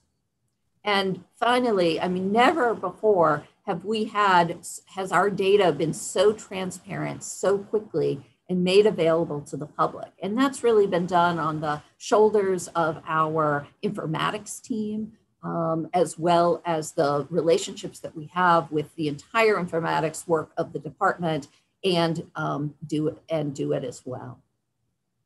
We've also increased, meanwhile, ensured that we had providers in those communities through our state loan repayment program. So we'll move on to the next slide. So those are all great achievements that we've had. There's a million things we could we could talk about, but meanwhile, we also have some significant challenges in front of us. We are um, structurally, we are continually faced with maintaining and replacing our critical laboratory equipment we are pushing our data systems to the edge of their capabilities. And like in every corner of the department and state government, our staff are all doing more than one job. And we continue to have challenges in recruiting and retaining highly qualified staff. We continue to see health disparities and health outcomes among different racial and ethnic groups and within economically challenged rural and urban areas of the state. These differences in health outcomes, whether it's maternal morbidity or cancer screening rates, or adver- adversely affect groups of people who have systematically experienced greater social or economic obstacles based on their racial and ethnic groups, their socioeconomic status, whether they have a physical um, disability, and the answer to closing some of these gaps is complex. And it requires a focus not only on the health condition itself or the health behavior, but on some of those other determinants of health. Even our environmental health risks, you know, whether you talk about lead in our older housing stock or the threat of contaminants in our water, have solutions that are squarely in the role of public health, but we also need our partners in other sectors and in the community in order to fully address them. The long term impacts of the pandemic, whether that's um, from cancer, there are some really outcomes that we're going to be faced with over the next couple of years, whether that's the outcomes of cancers not caught early enough because people didn't seek screening over the past year, or from the economic and family burdens of women leaving the workforce to care for their young children or their school age children, are going to require us to work with other divisions and within our communities to ensure that our strategies are aligned and effective. But even with these complex challenges, we are hopeful and we are prepared with resources to make improvements. So as we go into the next slide, we're going to be talking a little bit more about what those resources are and the budget involved in that. And that's where I'm going to hand it over to, to Karen and, and Shelly to take a look. Um, Shelly, I'm going to I'm going to have you stop sharing for just a second. Perfect. Uh, so Beth Daly is able to join us. That's Beth, D A L Y. And then the other one is Ian Watt.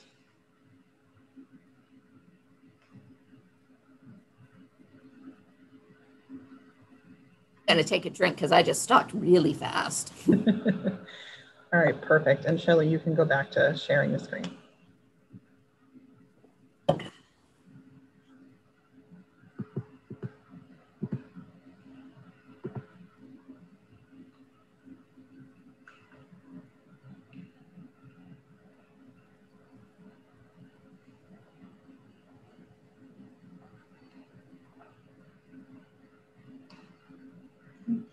Not. All right, I can share. All right.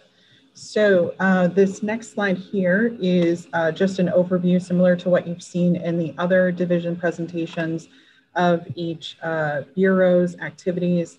Um, I take full responsibility for the fact that this column did not get updated uh, last week. Um, so I do apologize for that but that is the total request of public health, which is the 2.127 uh, million. To Senator Rosenwald's question earlier, that does not include the $400,000 request because that is an HB2 request, not an HB1 request. And so if I just, um, I'm gonna move right to this slide here, which outlines all, all of what the requests are. And so Trish, if you want to walk through each of them, um, and then we can also talk about the HB2 request for family planning. Thank you. Thank you, Karen. Um, right here, you will see that we have a number of requests that are all within the scope of um, supporting young families um, and uh, prevention services. Much of this work we do in um, collaboration with and really hand in hand with both the Division for Children, Youth, and Families and the Division of Economic and Housing Supports we have had um, and what we call our early childhood integration team up and running for the past year or so, where we've really tried to determine how we best support those prevention services to keep families sort of safe and healthy and, and um, whole. Um, public health has really focused on serving um, working in the realm of preventing adverse childhood experiences. This, this falls squarely in our shop when we think of what the long-term outcomes are of those adverse childhood experiences, which really are increased uh, chronic disease, increased behavioral health issue, um, complexities, all of which have impacts on our healthcare system. You'll see in here that we have requests for our community collaborations work for Amoskeag Health Center to provide some of these integrated family supports and resource navigation. We also have, um, and those supports occur in both Manchester for with Amoskeag, um, way up north to Northern Human Services up in the northern part of the, in the state, and within Lakes Region um, in the central part of the, of the state as well. This has been, um, community collaborations has been incredible opportunity to work directly with um, DCYF to really ensure, you know, you think about the front door, you know, we want to keep folks off the front, out of the front door of entering DCYF. I think of these services are really the services that occur way out in the front yard. These are pre- truly prevention based services so that families hopefully never need to go anywhere near the DCYF system. In particular, some of the home visiting programs are really working on expanding services for substance exposed infants. Again, we have worked um, closely with DCYF for years now around things called the Plan of Safe Care, which is um, the plan that gets put together when a pregnant woman comes into care and their, her child might be at risk for being exposed to opioids.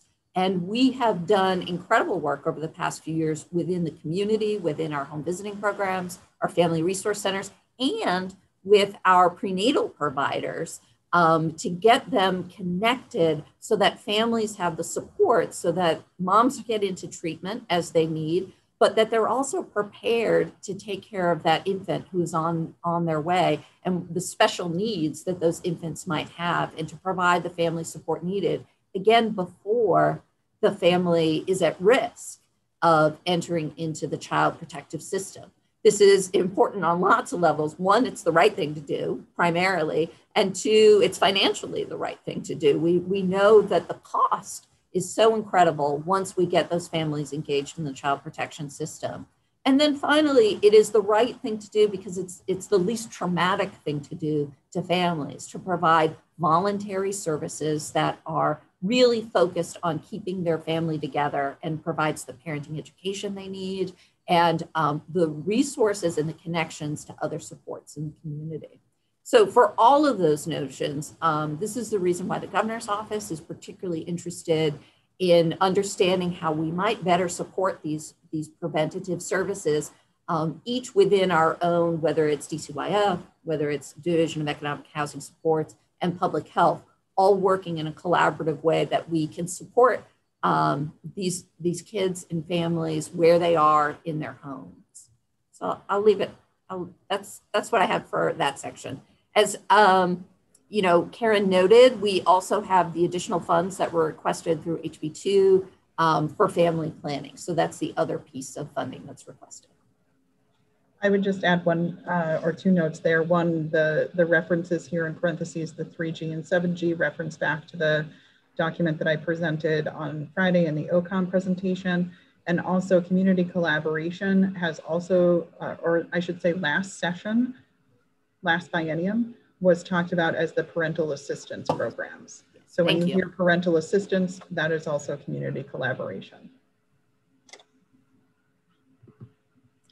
And then I think there's one last slide. Yeah, and so I, I, mean, we're just closing out with this notion of that, you know, our priority really is to support prevention and make connections. And we do that with our entire scope of work um, but in particular with the work that we would love to see supported, and, and, we're asking for your consideration to be supported so that we can continue what was again known as the parental assistance funds in the previous bienniums um, to uh, continuing that work within um, the Division of Public Health so we can ensure that families, um, we have the opportunity to prevent those adverse childhood experiences in order to reduce those costs associated with those poor health outcomes in the long run. So thank you.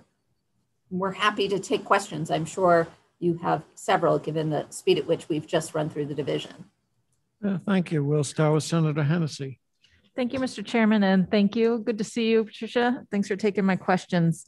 First, I want to start with the testing requirements for overnight camps. Have we been able to find funding for the what in some cases up to three tests per child yes. for them? Yeah, so, so, thank thank you for that question, Senator. And yes, we have some federal funds that are enabling us to support those testing. We are working um, with both the camps right now to um, develop a contract so that we will be able to support those um, the uh, testing as well um, the preventative. There's a there's a series for everyone else just to bring you up to speed there's a requirement for children to have a test um, before they arrive at camp, upon arrival to camp, and then five to seven days later. But we have funds to support that. as well as funds to support um, access to BinaxNOW rapid tests for any um, staff or child that uh, is symptomatic while they're at residential camp. Excellent, thank you. Uh, follow up. Follow up. On page 1221, while I like to think this new program is about me, obviously it's not because I don't know what it means. Um, organization 745, Wise Woman. Can you tell me what that is? Sure. So thank you. I, will take a swing at this and then I will ask um, Dr. Charala to add any more detail um, if she has it. But Wise Woman is a federal program around looking at uh, supporting heart health among women. We it is a competitive program, competitive uh, federal grant that we've just received from the CDC. And Dr. Charala, would you like to talk a little bit more about the sort of interventions that we would see to have during through Wise Woman? Sure. Thank you so much for the question, Senator. Uh, Wise Woman basically is called Well Integrated Screening and Evaluation for Women across the nation. So, in short, Wise Woman. Uh, we actually received this a three year grant from CDC, and the focus is to reduce the cardiovascular risk uh, among New Hampshire adults, specifically women. And the timing of the grant is really good because we know, because with the COVID 19, the impacts and the challenges are high.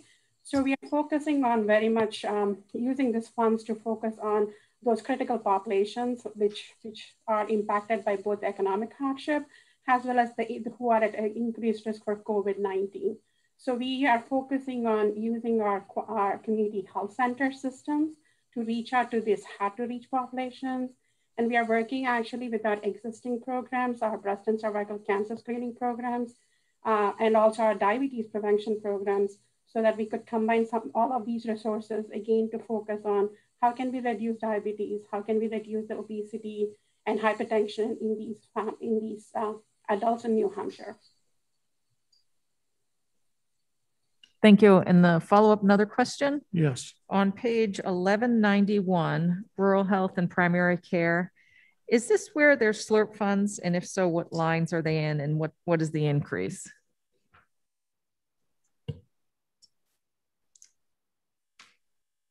So I'm, I'm just pulling up that that right now. And yes, and, and I could have Shelly point to the exact line with the SLRP payments in them because we have several um, funding sources, both from general funds and our JUA funds.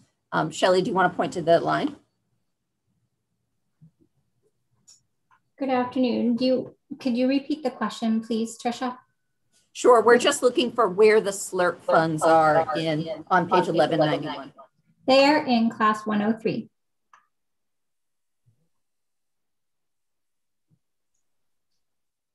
Follow up? Is that entire line both um, funding sources, general and the, um, I, I forget where the other one is right now. That entire line is just the general funds. The um, Are you referencing the JUA funds. Yes. Yes. Those are in class 73. Thank you. Thank you. You're welcome. Further questions? Senator Rosenwald? Thank you, Mr. Chairman. I have several.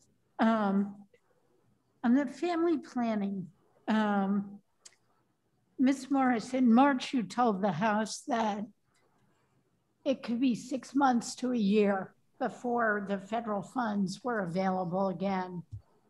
Um, but then on Friday, the department only asked for one quarter's worth. And I think just a little while ago, you said you expect an award in the first quarter.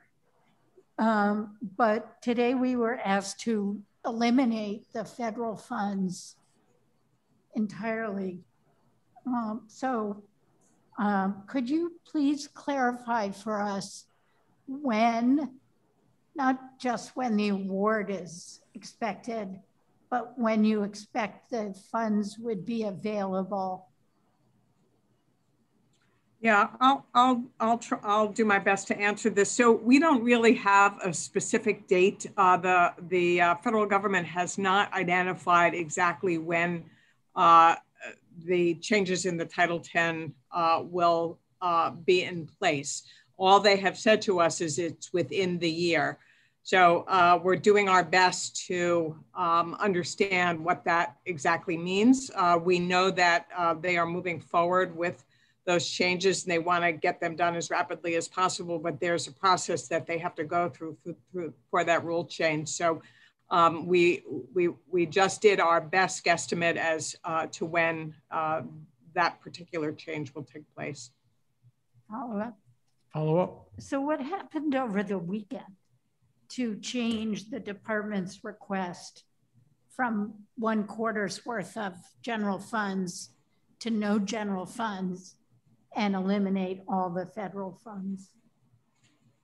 So I, I did submit those change requests on uh, Friday, and the the elimination of the 1.6 million in federal is because that shouldn't have been there. It was a mistake that was made in the governor's phase. That was my fault.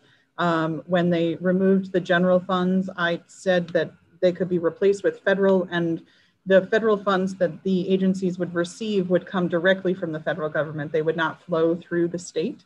So that was the 1.6 million of federal, 100% federal is incorrectly in the budget at this point. Um, the one quarter is is an amount that we're hopeful that the rule change will be there um, by October 1st. That is the beginning of the Fed fiscal year. Um, but like Lisa said, we, we don't know for sure. But could I follow up, please? But now the department's not asking for any general funds, is that correct? No, we're asking for on asking, well, the change sheet only shows the changes to HB1. The change requests to HB2 uh, are in that uh, a separate document with the all of the changes requested to HB2, and that's where that $400,000 request is. We put it in HB2 versus HB1 because it is anticipated that it's more of a one-time expenditure where that rule change is anticipated. And if I could follow up on my question that I asked earlier about uh, Title 10 federal funds that might be impacted. Um, and it was suggested I ask during this part of the presentation, what, it, eh, what are the potential risks uh, to federal Title 10 funds from the current provisions in House Bill 2? So I'll take that. We don't, um, under the current Title 10 regulations, HB2 does not have an impact on our Title 10 funded programs. Um, it may impact those uh, other family programs that receive only general funds, but um, HB2 does not have an impact on our um, ability to accept those federal funds. I'm sorry, my question was not about current regulation, but expected changes to federal regulation. Yes, and, and I will um, ask Dr. Trella to, to correct me if I'm incorrect on there, but what we anticipate to be changes at the federal level, um, HB2 will, we will still be allowed to accept those federal funds. What it will impact is some of the agencies that will choose to contract with the department. Thank Dr. You. Trella, would you like to add any clarity to that? No, what you said, Trish, is accurate. It's just that it'll impact our contracting process with any of the agencies who want to accept these funds. And in turn, that might impact our family planning services and the, the people who depend on those services. Again, we can accept the fund. We, it is likely that we'll be able to accept those funds. It may be that our partners in the community may not want to accept the requirements of HB2. Thank you.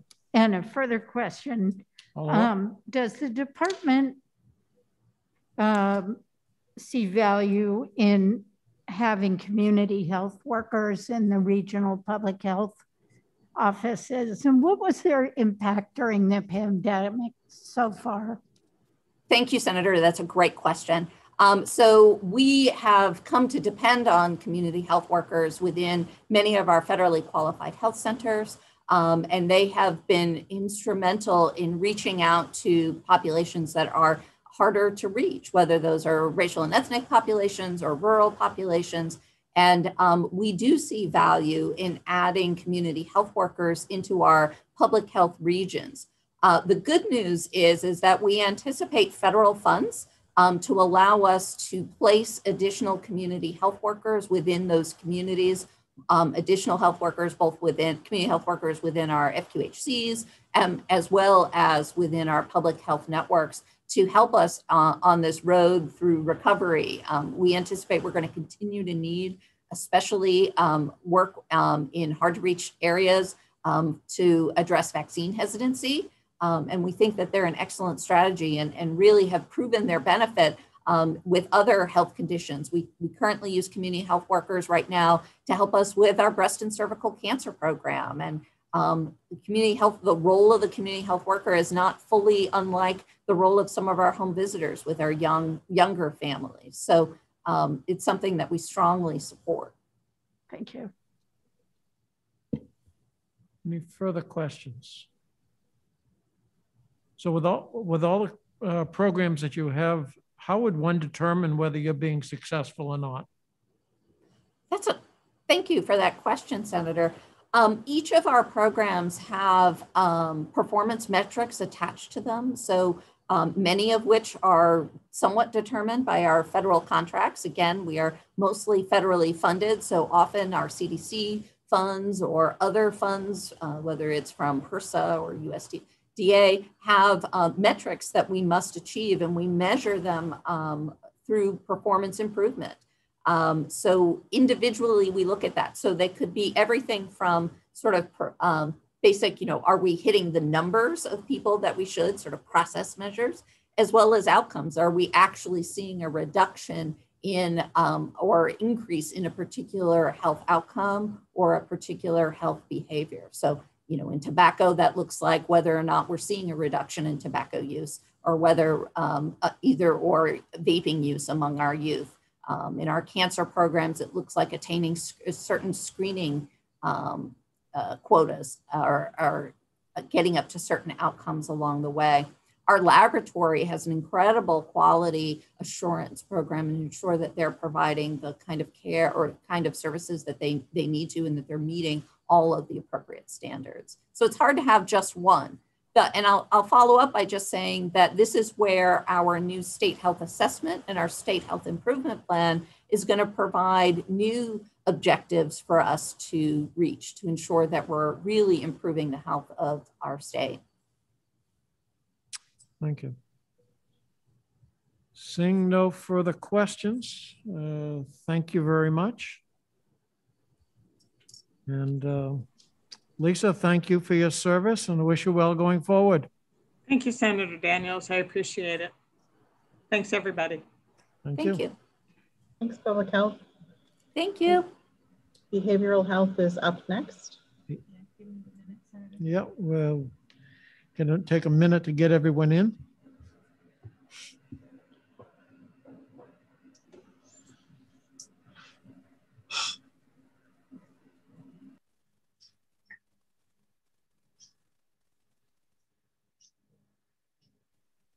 uh,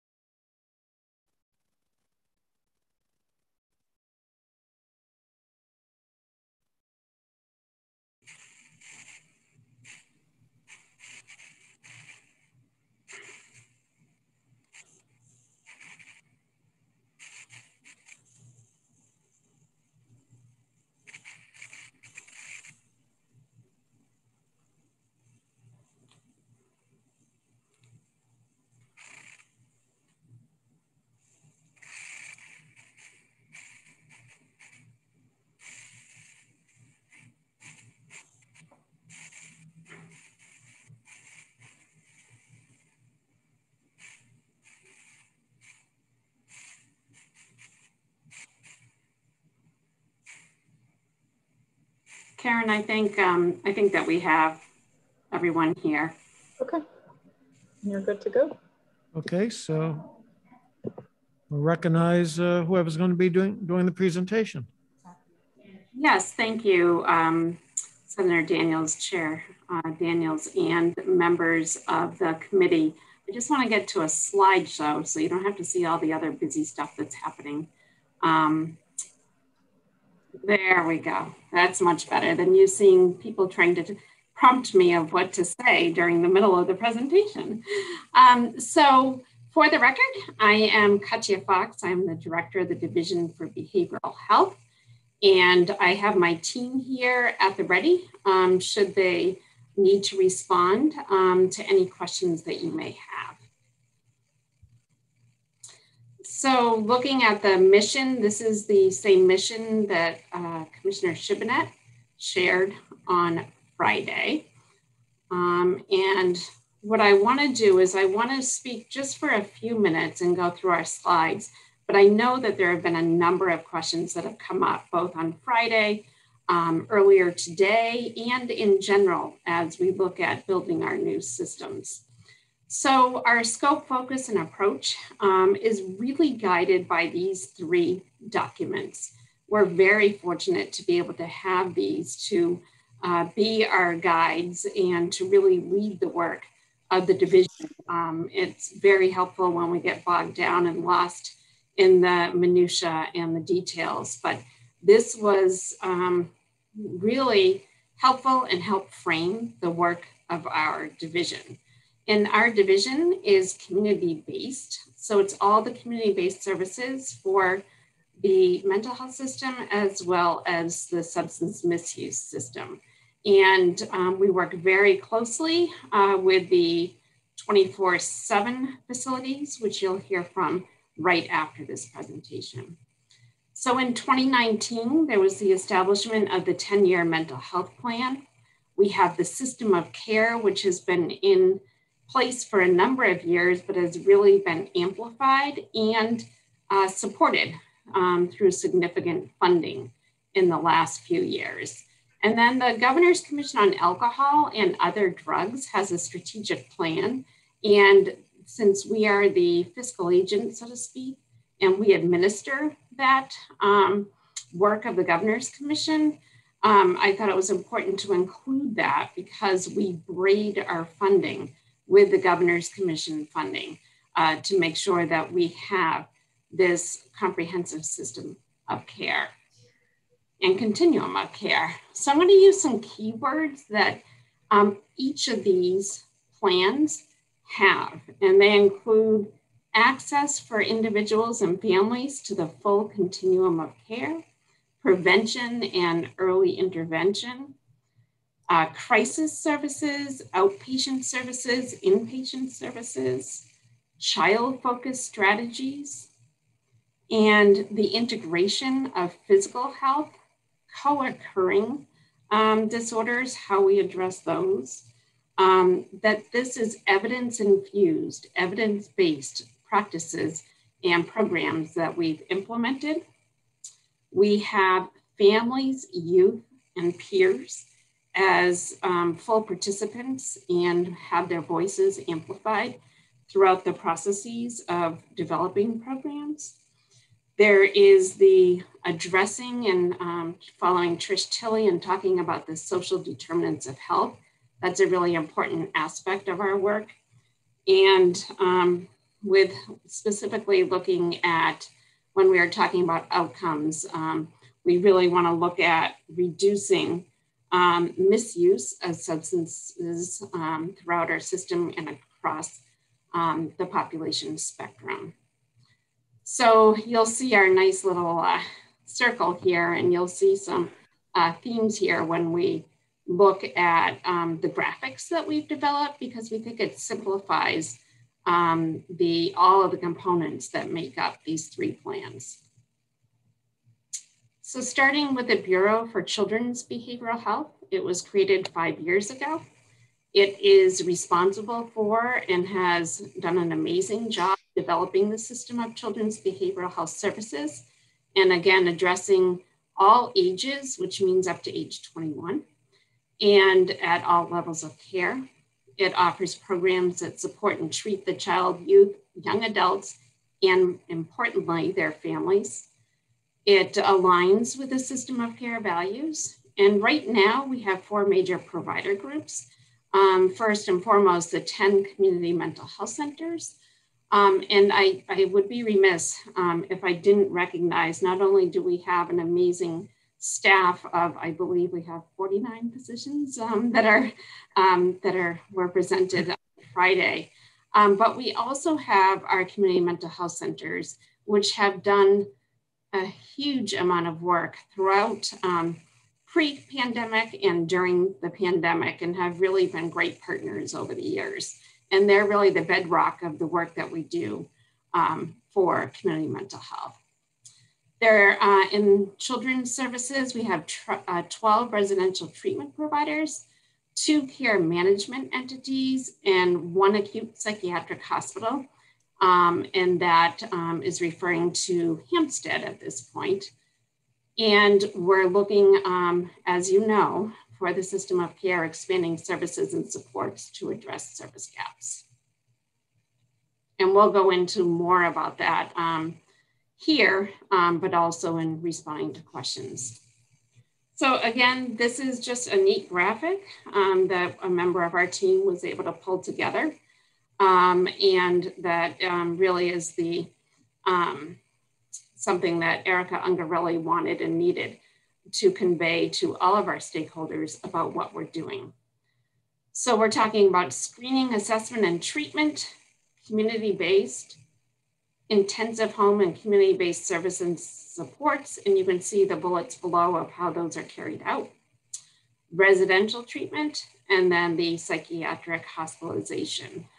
At the bottom, and this is foundational, is statewide mobile crisis. Looking at the Bureau of Mental Health Services, um, again, this repeats a lot of what we've talked about and think about. It's specific uh, to adults. And so this particular Bureau is providing oversight, guidance, technical assistance, training, and um, monitoring the mental health providers statewide. And again, ensuring the full continuum of recovery oriented uh, mental health services, then that they're available. Again, looking at a graphic. I think we all heard the press release um, or the, in the press the last couple weeks about you need to dial 603 now um, before you call a local number in the state of New Hampshire because that is um, important for the implementation of 988. What is 988? 988 is the um, national three digit number that's been uh, established by the FCC to uh, be responsive to uh, what is known as the Suicide National Hotline.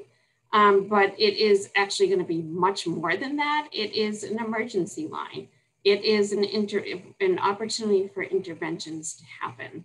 The state received a planning grant um, for this, and we're partnering with our current uh, provider, which is Headrest um, in Lebanon. In we are working with the Department of Safety and other uh, community level partners uh, to implement 988 it is a federal requirement and we um, are, oh, I should say the date of this, it's effective July 1st, 2022.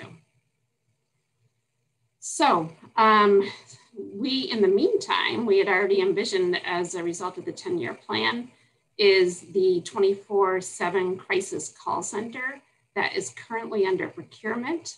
Um, that's a so-called portal as called out in the 10-year plan. And the idea is to have this one entity that then deploys the regional services, which we are currently working with our community mental health centers that will be delivering those services in their regions. So right now, as you can see, we have multiple numbers, we have um, multiple teams um, that are somewhat siloed, um, and what we want to see is one statewide number and that emergency response is not about hospitals, it's not about police, and it's not about um, any one entity. It's about community and um, reaching people where they are. And that um, goes into the second part of about the mobile outreach.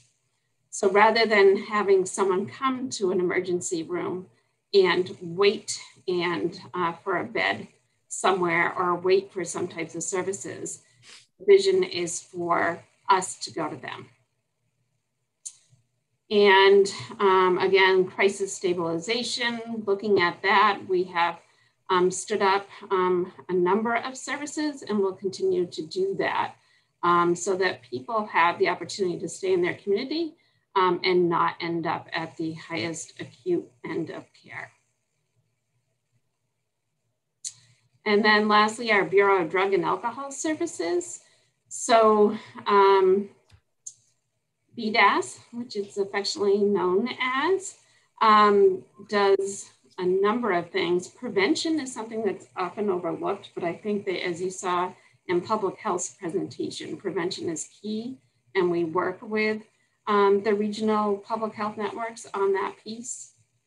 We do surveillance, crisis intervention, increase awareness of and access to treatment, and something that many people don't know is we do the um, oversee the impaired driving services. Um, and that is paid for and supported by the participants.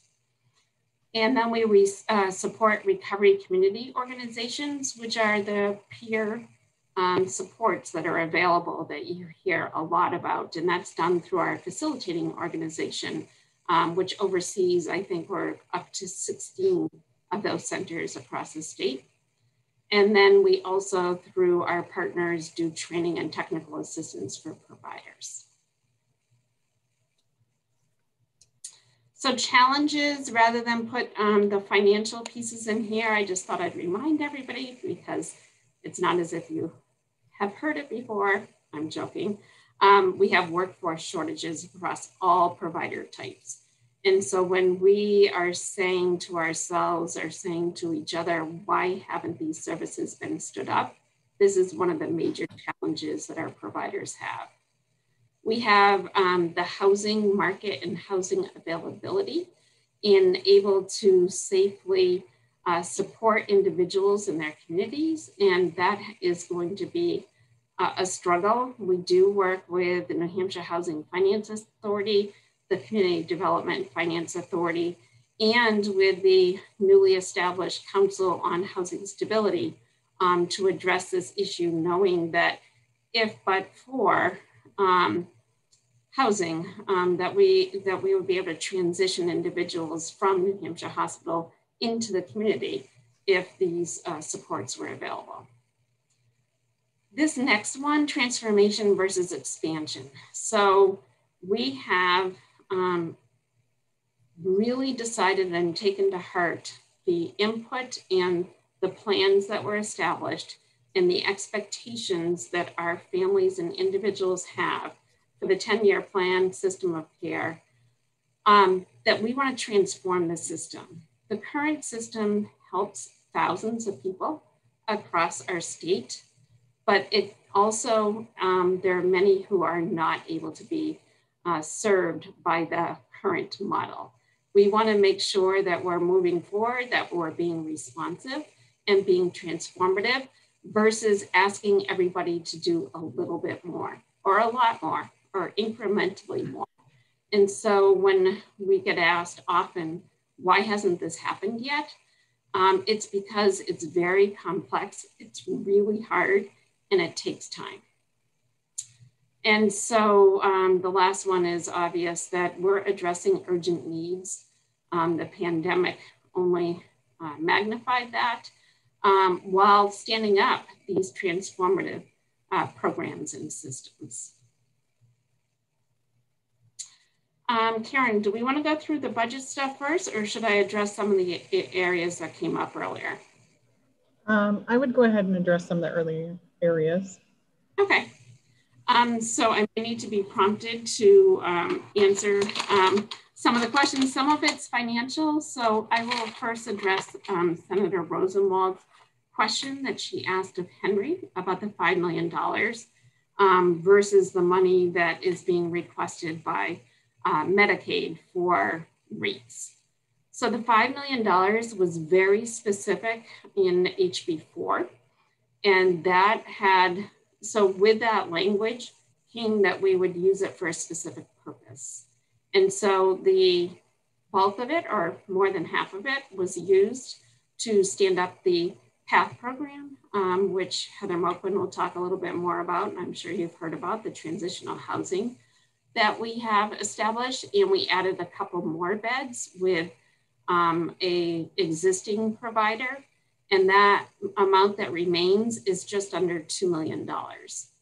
We are not able by statute or by session law or whatever you call HB4, um, by that language, able to um, use those funds for any other purpose. And so we do expect those funds to lapse. The um, discussion, and um, I'm glad that it did come up in Henry's presentation from Medicaid about the money being requested for rates. One of the areas, um, so I will say with that housing, uh, supportive housing funds, we did put out a procurement and we received no applications. We had to cancel the um, procurement so that we were able to talk to our community partners about why they did not um, bid uh, for those supportive housing beds. And we heard that the rates were too low and it wasn't viable um, to stand up these services for the community mental health centers. So we have 60 existing beds, as Henry had indicated, and we want to expand to an additional 60 beds. But in order to do that, we heard loud and clear that we need to raise those rates. And by raising those rates, we mean to the level that we already provide for transitional housing um, through our um, partnership right now. Our only provider is NFI, um, which operates transitional housing in three parts of the state and soon to be five parts of the state through um, contract expansion uh, or through, um, yes, through, through bed expansion. So that's why um, those funds are needed in Medicaid uh, to raise those rates and be more successful in our procurement processes. So with that, I, I, think, Karen, I'll turn it over to you I, and I'll go through my notes in the meantime. You're, I'm, I was on mute. Uh, so this slide here is uh, an overview of the behavioral health budget, similar to other presentations. And uh, the last column there is the total requested changes, as you changes are in children's behavioral health and mental health services. And Katja, if you want to go to the next slide. And I'll, I'll lean on Katja to, um, oh, you went ahead. Back one lean on Katja to uh, describe each of these in detail. Uh, but the first request here, which is in 15A, is additional funds from DOE. Those are funds that um, were not budgeted or anticipated in our federal funds that um, are part of a grant that DOE um, has and um, that we needed to account for. And then there are two requests, the first one here being 4N, both related to mobile crisis, one at the adult level and one at the children's level, uh, where an increase is needed in fiscal year 23. And the, and the second one to that is 5N, which is the second block there, which there are also funds in fiscal year 22.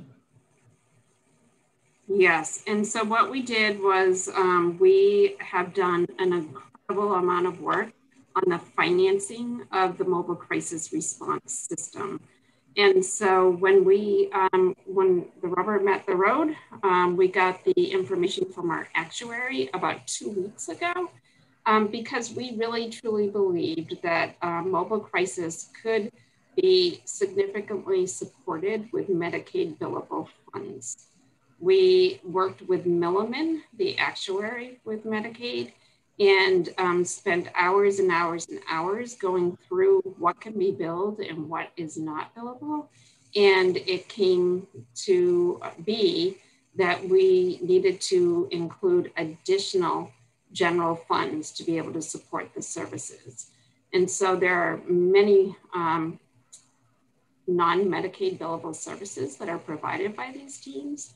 And we believe in order to really do um, the job that we are asked to do and to have the system that I showed earlier, we need this additional funding. I will say that most of it appears in state fiscal year 23. That is contingent upon incorporating the provisions of SB 157 that the Senate laid on the table, presumably because it was a budget issue, and that is having the state fiscal year 2021 funds um, from Children's Behavioral Health not lapse until the end of the next fiscal year 22. If we were not to have that um, be part of the budget, then we would be requesting another $3 million. And to uh, preempt a question there, probably uh, with regards to that Senate bill, if that did pass, that does not change any of our lapse estimates. The first uh, one here on this page, 16A, is similar to the earlier one with a, a grant from DOE. Uh, Katja just um, discussed the second one, 5N. The third one is funding for mental health stabilization. Yes, that was funding that actually back way back when when we were putting together the budget. Um, I believe it was well over well, it was about a year ago. Um, we were looking at um, significant instability in the state budget due to the pandemic and the revenues that were um, un, uh, were expected to take a huge dip and stay there. Um, and so we had to put something on the table um, as we are going through the governor's phase and the agency request. And so we removed $1.5 million from uh, the budget um, and that's currently supporting services and we put it on the table. We now know that the revenues were in a whole different um, situation and we know that the stabilization services are needed now more than ever due to the pandemic and what families and individuals are experiencing. So we're requesting that that be added to the budget. And you'll note that that is 6G, which indicates that it was a request that the governor made of the House to be added to the budget. The next one, 6N, is a very small request, uh, only $30,000, uh, but it is to fund additional guardianship slots, which we are required to uh, maintain um, and do have additional slots that have been already created and we need to continue to fund. Anything to add on that, Katja? No, I think that covers it.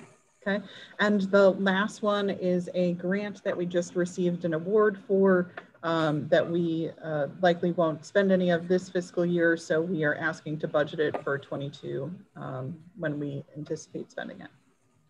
And that uh, additional funding came through um, for specifically for um, addressing pan the pandemic related issues. It came through the federal budget. Um, it's a one, we expect a one-time boost in our mental health block grant, which it actually is almost, almost double. I think it's about double um, what our current uh, mental health block grant is.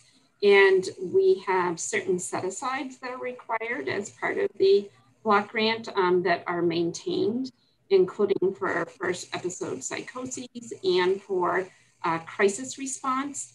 We are pegging um, some of these funds or majority of the funds over $2 million um, over the biennium, so about a million dollars a year for what Commissioner Shibinette described and the um, team at Alvarez and Marsal described on Friday, which is for critical time intervention, which is that transition of care from the institutional setting, for example, uh, New Hampshire Hospital, and designated receiving facilities so that we have one person providing care coordination for nine months after someone um, is uh, discharged from those acute settings and will allow them to integrate into the community and um, really isn't a gap that is not addressed in all of these other efforts that we have described.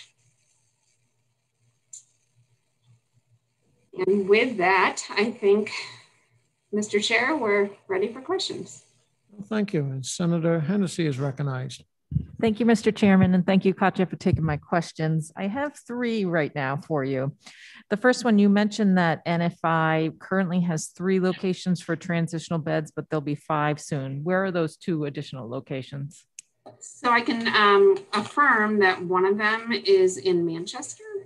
Um, the other is still under development. They're required to get approval from the department for the next location. And I know that they're in a highly competitive bidding uh, process for this particular area. And so um, it's probably uh, not good for me to disclose where they're hoping to be for the uh, fifth location. Do we have any locations north of Concord? We do. We have beds in Bethlehem. Thank you. And for the mobile health, health crisis teams, do we have any data yet that shows that these teams are able to help those experience a mental health crisis and keep them out of the hospitals? We do. We have three teams currently under our community mental health agreement, the so-called Amanda D settlement, which is our uh, federal case that we um, settled with the plaintiffs.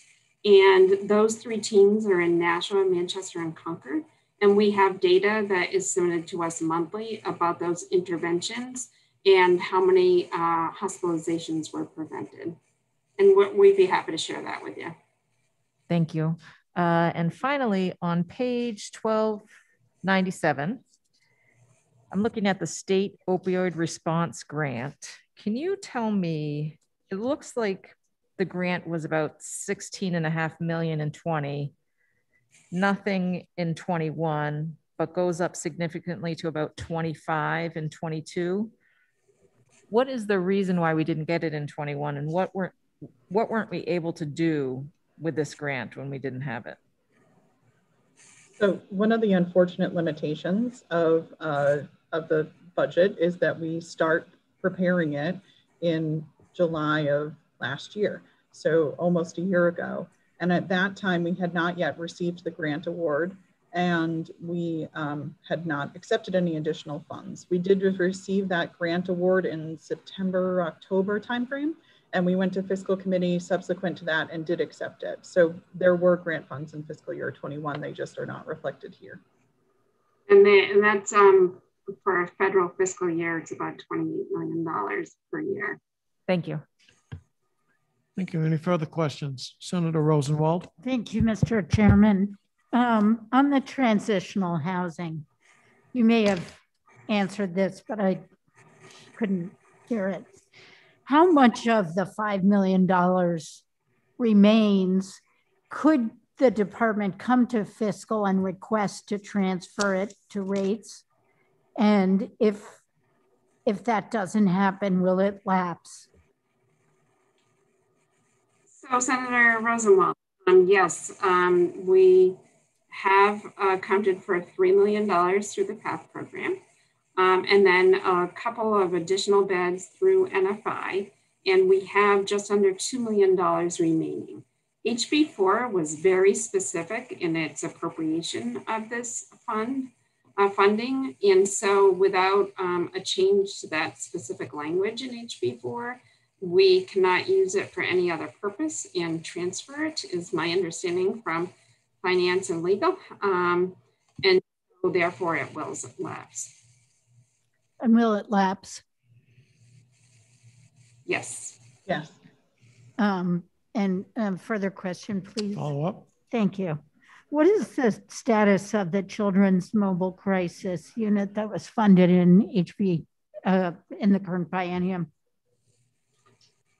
So Senator Rosenwald, as we were going through, I was um, explaining a little bit about um, the, uh, the mobile crisis. And what we decided to do was to have integrated because we have the 10 year plan, because we have um, the system of care, we're integrating mental health for uh, mobile response into a rehaul and transformation of our emergency response system to really focus on the community um, and that response. And so we have graded funding from the state, state opioid response grant, from the system of care uh, very specific children's um, response, uh, mobile response, and from the um, adult mental health services. We're combining those funds to have a comprehensive community response rather than standing up a separate children's response um, or, and have a concurrent adult response. We want to garner those resources. We are currently um, working with our selected vendor to bring a contract before governor and council. Um, it is likely to be in June for the portal, the so-called statewide hub, um, and that is the call center. And then the community mental health centers, we um, have our annual contracts with them that we're currently working with them specifically to stand up those regional teams. That is they're asking for the additional funding um, because we did go through that process with Milliman, our actuary, uh, to determine what was Medicaid billable and what was not, and um, discovered that we needed additional general funds for the non-Medicaid billable services. Follow, please. Will that, how much of that funding will the department be lapsing? we hope that there is no funding that's being lapsed um, as called for in SB 157, which the Senate um, passed 24 7, I mean 24 0. Um, I didn't, sorry, I didn't mean to expand the Senate uh, population. Where are those new districts? Um, um, in that, so it, it passed um, that bill that would take the funding um, we've already lapsed funding because in children's behavioral health, um, there is not, there wasn't a non-lapsing language between the two fiscal years in the biennium. So tw uh, 20 is already, um, already lapsed.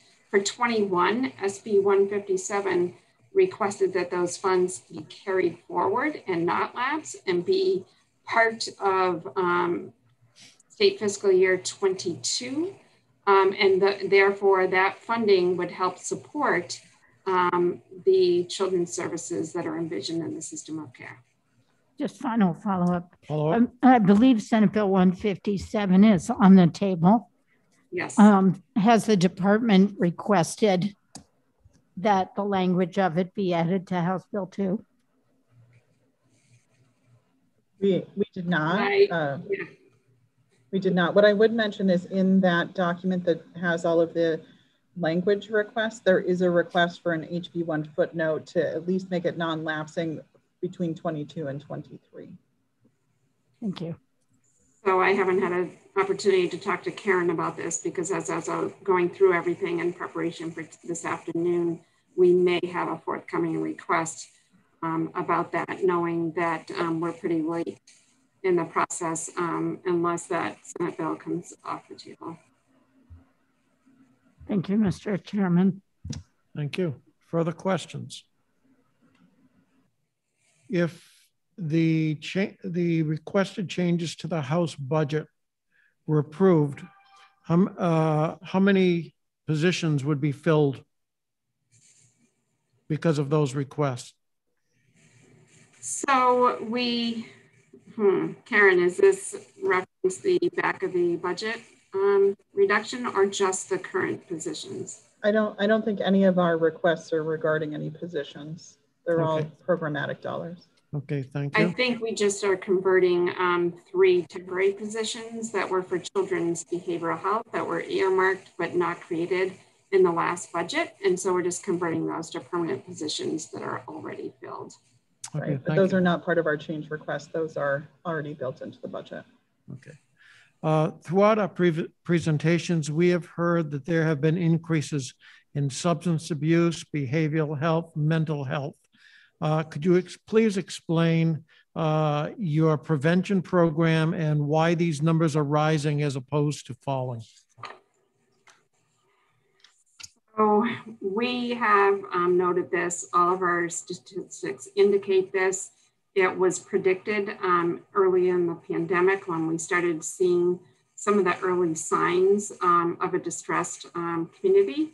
And so liquor sales increase, we saw um, the children's situation as evidenced by the emergency department demand um, for in the um, inpatient bed demand.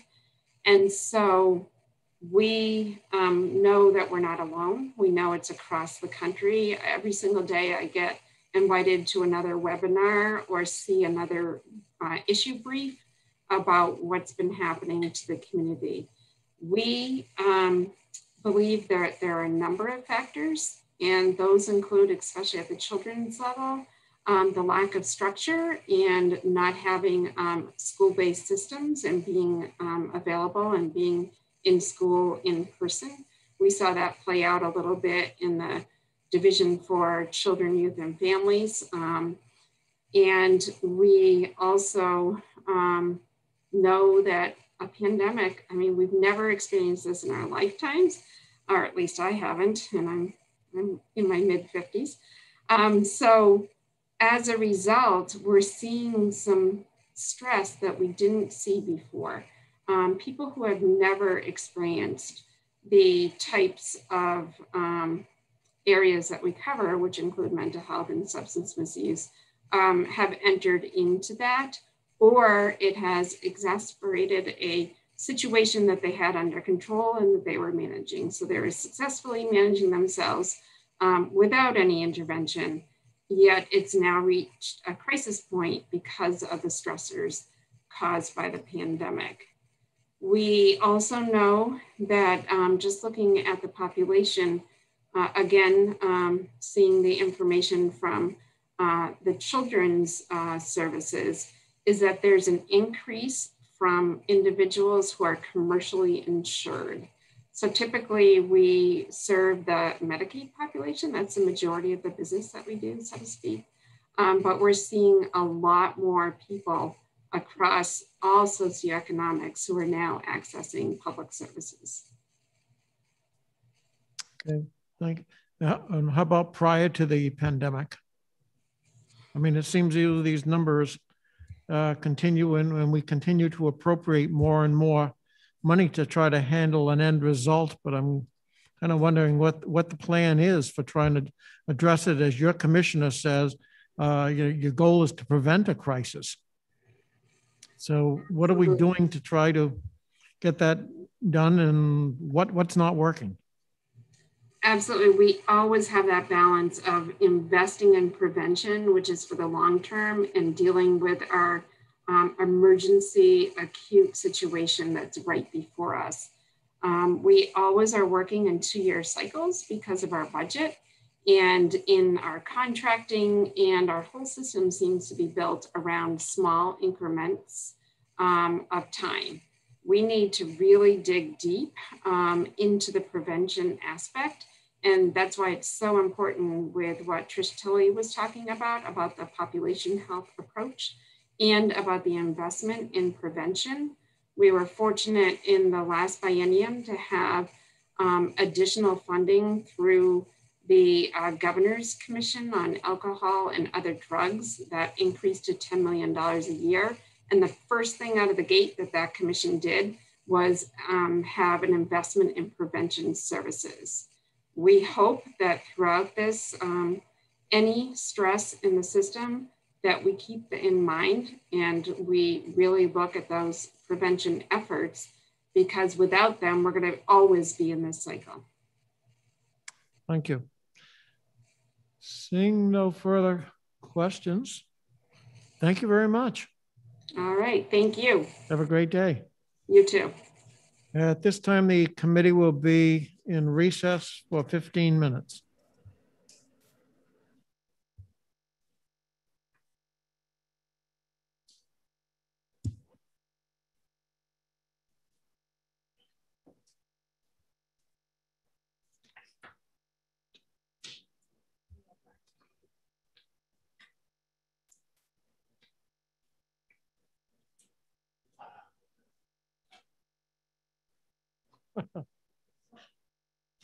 that, that that's me on Wednesday, I think. So that, that's me on Wednesday.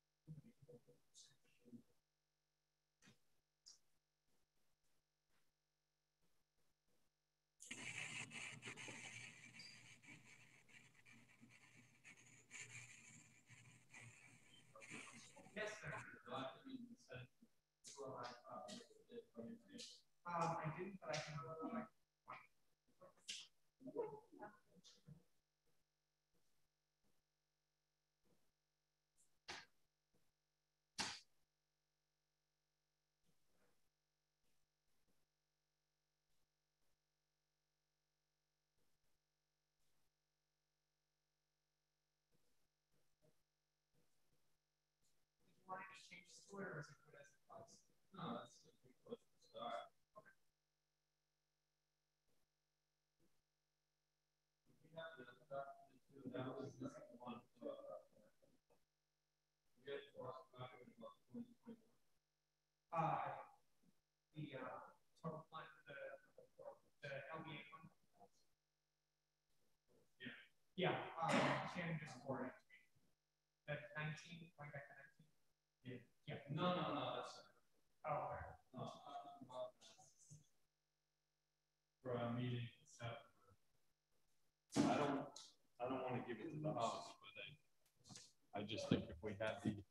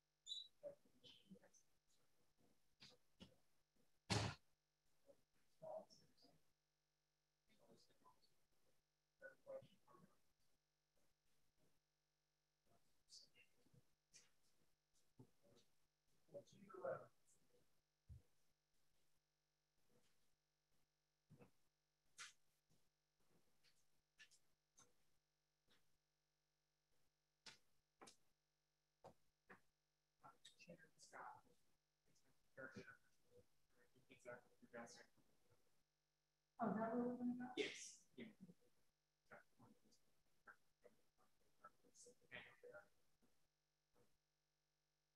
And how are we doing on, um, good, um, so last. Um, if we're, to three minutes, we'll be five minutes. or, The uh, first time. You know, we've got like another four. Sign up for six. so how many do we have?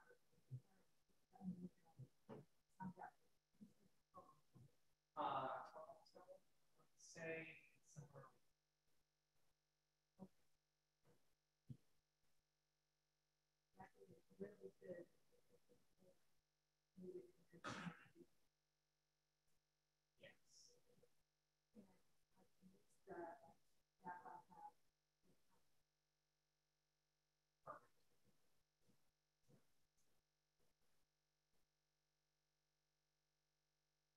that ninety, go now up to ninety-eight or no?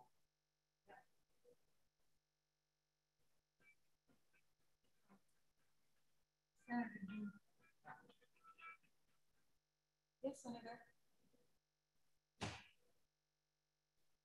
Yeah. No problem. No problem.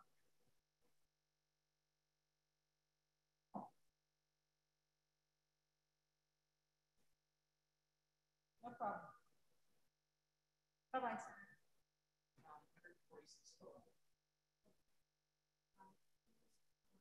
Got something going on. He's not gonna be with us for the rest of the afternoon.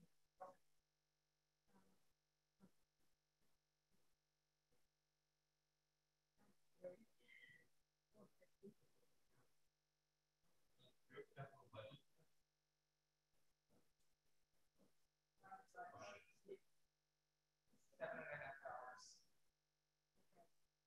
So that's four hours in the afternoon. So we're looking at. Yeah. Nine thirty. Assuming everybody actually shows So he doesn't get sick of it. Okay. Great,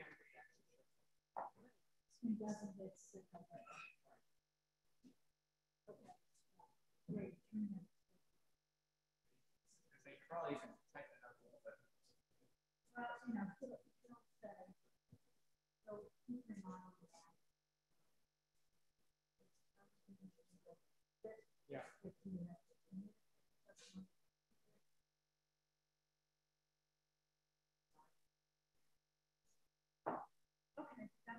Thank you, John. Yep.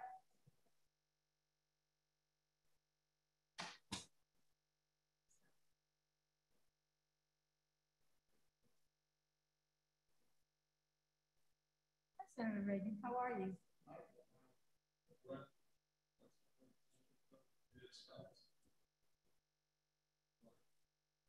Well, I can do this.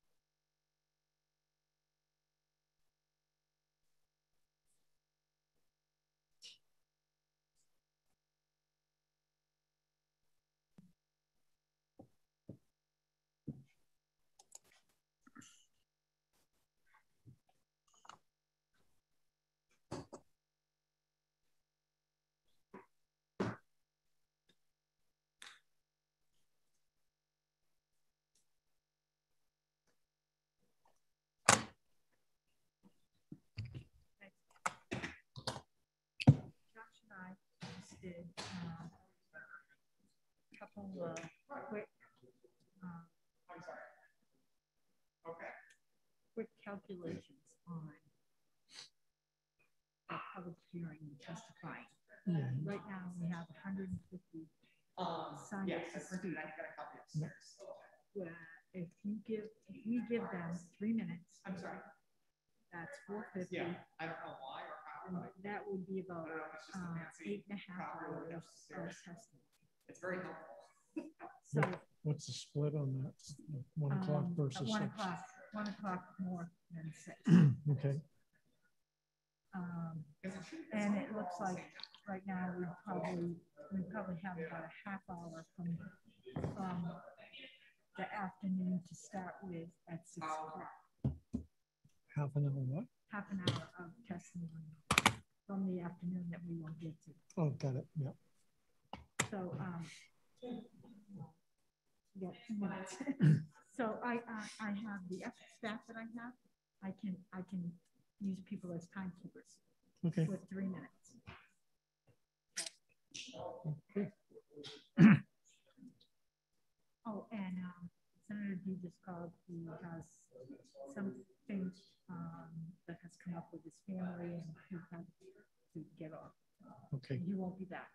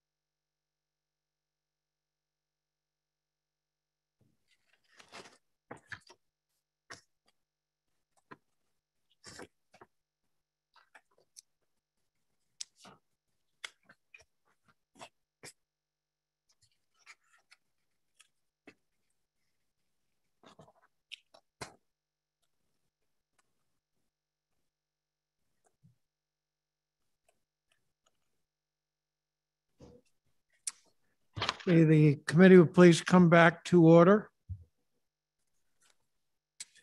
And we will recognize the next presentation, the New Hampshire Hospital. Heather, are you doing this? I am. Thank you. Good afternoon. Can you hear me okay? We can. All right. Thank you, Mr. Chairman and committee members. Uh, Joe Christie, I think, is going to post a slideshow that we'll go through. And thank you for your time. So again, this, this presentation will be focused around the 24-7 care facilities um, that I work with. And that includes uh, New Hampshire Hospital, Glencliff, um, and in addition to that, a little bit about Hampstead and our contract with Hampstead. So this slide talks a little bit about, you know, really just the flow for a patient um, through the healthcare system from the emergency room to New Hampshire Hospital, and then various discharge locations from um, home, first and foremost, but also group homes, transitional housing, nursing homes, Glencliff Home, and our PATH Center. The mission for New Hampshire Hospital is to help citizens with acute mental illness stabilize their conditions and to live their best lives. Our vision is that our hospital will become a model of inpatient psychiatric care in the state and the region, using standardized evidence-based methods to stabilize symptoms and prepare patients to thrive in their home community We are an employer of choice who supports our staff's individual safety, wellness, growth, and engagement by fostering high functioning teams. At Glencliff Home, the mission is to provide a continuum of service to New Hampshire's developmentally disabled and or mentally ill population in a home-like atmosphere with an emphasis on independence, dignity, and acceptance. The vision at Glencliff Home is that their residents live a full life and gain independence by overcoming their challenges and developing skills that ultimately move them into their preferred community. The PATH Center is our transitional housing um, center at the Philbrook building. And the mission there is to demonstrate care and compassion for citizens with mental illness by aiding them and integrating them back to their community whilst offering the least restrictive environment possible.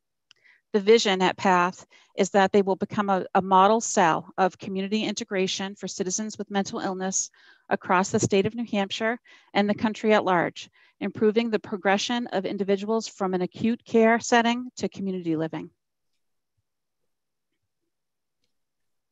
So our populations are listed here. Um, so you have New Hampshire Hospital, Glen, Glencliff Home, the PATH Center, and then we also listed Hampstead Hospital, um, our contracted hospital for child acute psychiatric services. I'd like to bring your, sorry, if you want to go back, Joe, sorry, one second. A lot of people ask about maximum uh, census. And if you look on the right column there, you can see New Hampshire Hospital at 75, Glencliff at 120, PATH at 16, and then the 45 youth beds at Hampstead Hospital. There is slight variation in that day to day, depending on what patients may need, and sometimes when there is single occupancy need for a room.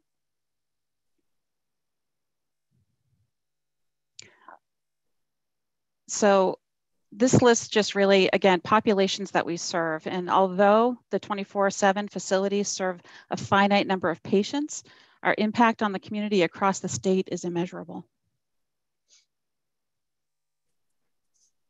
This slide just demonstrates really the specialty service that we provide in all of these settings. In the green are some of our more common psychiatric diagnoses that we treat, but there are also a number of medical conditions that require treatment in our centers. This slide describes the scope in each one of these facilities, which is a little bit different or a lot different from, from the other. So at New Hampshire Hospital, we provide acute inpatient psychiatric care for geriatric, forensic, and adult patients. Uh, there's also a medical care provision here at the hospital. We have a medical department that manages um, medical comorbidity issues. At Glencliff Home, that's a long-term psychiatric uh, nursing home essentially that provides care for the mentally ill and disabled citizens. And they also provide a medical component in their center. At PATH, we provide transitional housing and aggressive case management to help clients transition back to their preferred community and ultimately independent housing. And then at Hampstead, our contracted hospital, they provide acute inpatient psychiatric care for kids.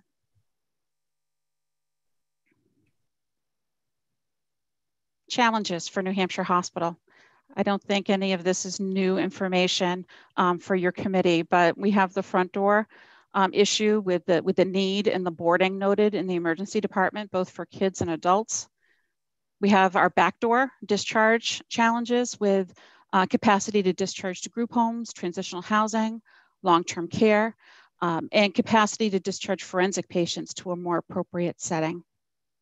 Operationally and financially, recruitment and retention are more challenging than ever. Forensic and housing of uh, House of Corrections admissions can be challenging. We do have aging furniture and an aging building. It can be challenging contracting with commercial insurance carriers. And then we have the financial challenge of reductions in our DSH payments. Challenges at Glencliff Home. Again, front door, there's a long wait list at Glencliff um, and a significant increase in referrals for patients who have uh, co-occurring dementia. The backdoor issue at Glencliff is similar to New Hampshire Hospital in that it's difficult to find um, affordable housing in the community and a lack of support staff. So for a lot of the patients at Glencliff, um, the staff are working with them to discharge them to the community, but it's difficult to um, deal with workforce shortages, frankly, um, and get them the staff that they need for in-home supports.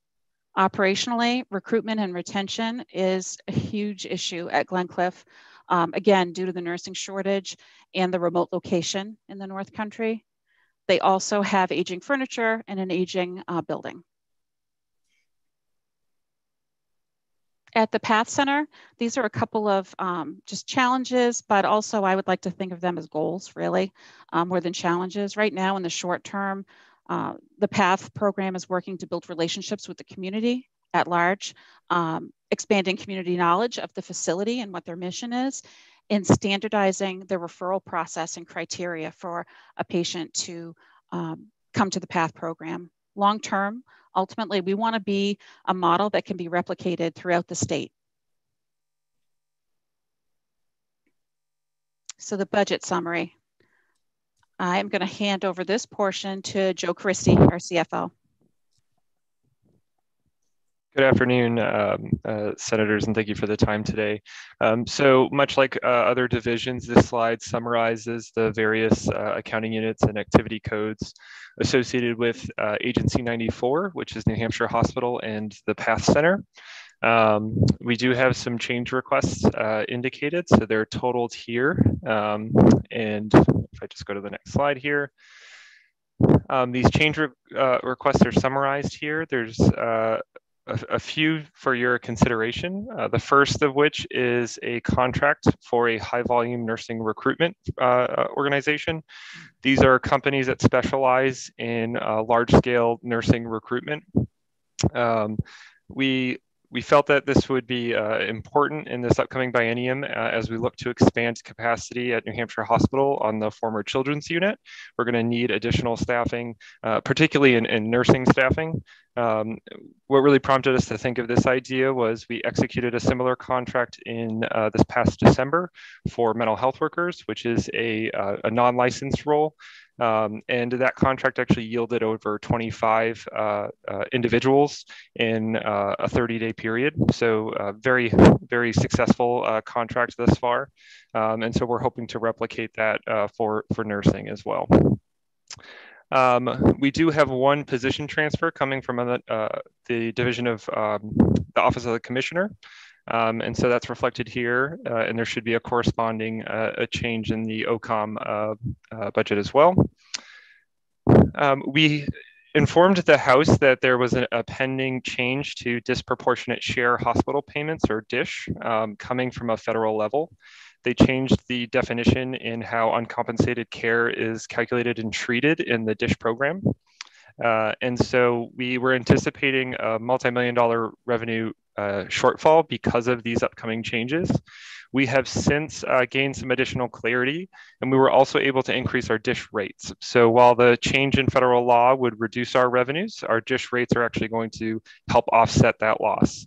And so as a result, in fiscal year 22, uh, we actually anticipate needing less general funds because of the increase in the DSH rates will, will um, more than compensate for the change in federal law. And then in fiscal year 23, uh, the opposite will occur, where the, the change in federal law will, um, will outweigh the, the increase in DSH rates, and therefore we will need uh, some additional general funds in fiscal year 23. Uh, and the last change request we have here, um, so this is my first uh, budget cycle within the state. Um, and I did not realize we do not need to budget for non-lapsing classes. So uh, the hospital inadvertently budgeted for um, the Hampstead contract. Uh, some of you may remember uh, House Bill 4 from last biennium appropriated $5 million for the um, operation of a uh, children's psychiatric facility that 5 million was used for the Hampstead contract, and it will carry us to really just shy of a, a couple of months uh, through the next biennium. And so um, we are reducing our budget by that appropriate general fund, general fund amount in, in both uh, years of the biennium. That was for New Hampshire Hospital and PATH. Um, and then for Glencliff, again, this is a summary of uh, their activity codes and their budget lines. Uh, and for Glencliff Home, we are not requesting any additional changes to our budget at this point. And I think with that, we'll take any questions. Senator Hennessey has a question. Thank you. And this question is for Joe on two questions, actually. One, the request 18A, what division is that position coming from or activity code number? Um, that is from the Office of Commissioner, I believe. Karen, would you be able to articulate uh, what activity code that position was in? Yes, so it's the Office of Business Operations 5676 is the accounting unit uh, that that was previously in. Um, so finance is consolidated with the exception of New Hampshire Hospital. And we had one position that was reporting to uh, the deputy CFO of the department that uh, we've moved over to New Hampshire Hospital. She does still support some department-wide operations as well, um, but her primary work is now going to be at the hospital. So does does this adjustment need to be taken out of 5676 as well? Yes, and there okay. is a corresponding change request for that as well. Okay, and then follow on eight, uh, 8750 on request 8N for the high volume nursing recruitment, the $1.9 million a year, how many nurses do you expect to hire for, for each of those years? Uh, so that um, estimate was based off of a contract, um, I believe that was a budgetary figure provided by a vendor. I believe we discussed 35 FTEs. And follow up? Follow up. That's just for the agency, right? That's not for the actual salaries and benefits for the employees, right? Correct, correct. So the, the intent of this would be that they are permanent placements. So they would be state of New Hampshire employees. Um, but, but this is a, a firm that would help us do kind of uh, wide scale nursing recruitment. Um, I should also mention too that a, a, good portion of this would likely be recruitment for out of state nurses, which would help build the psychiatric nursing workforce in the state of New Hampshire. And final question, is that um, 35 per year or is that 35 in the biennium? Uh, that would be 35 um, in the biennium. Thank you. Yep. Thank you. Further questions? Um, I have one uh, going going back to the uh, four four facilities that you have. Do do residents transfer from one to another, or are they just from the public to a particular facility and then back to the public? So thank you for the question. So we do have patients that transfer in between the, the facilities, with the exception of Hampstead normally. When we enacted the Hampstead contract, we did stop child admissions here at New Hampshire Hospital. We have temporarily begun that again just to offset the wait list for kids. Um, but otherwise, from New Hampshire Hospital, we discharge to Glencliff. Um, we discharge to the Path Center and, and at times, if patients become acute, they may transfer back. Um, so we, we do have situations where a patient at Glencliff may destabilize and need to come back to the hospital. Okay, thank you. Seeing no further questions, thank you very much. Mr. Chairman, yes. I, I, ju I just thank you. I just wanted to add that you do have supplemental information about some of the work that we've done around the forensic hospital. So you should have that in your materials. I didn't know if anyone had questions today or, or wanted to have a discussion about any of that.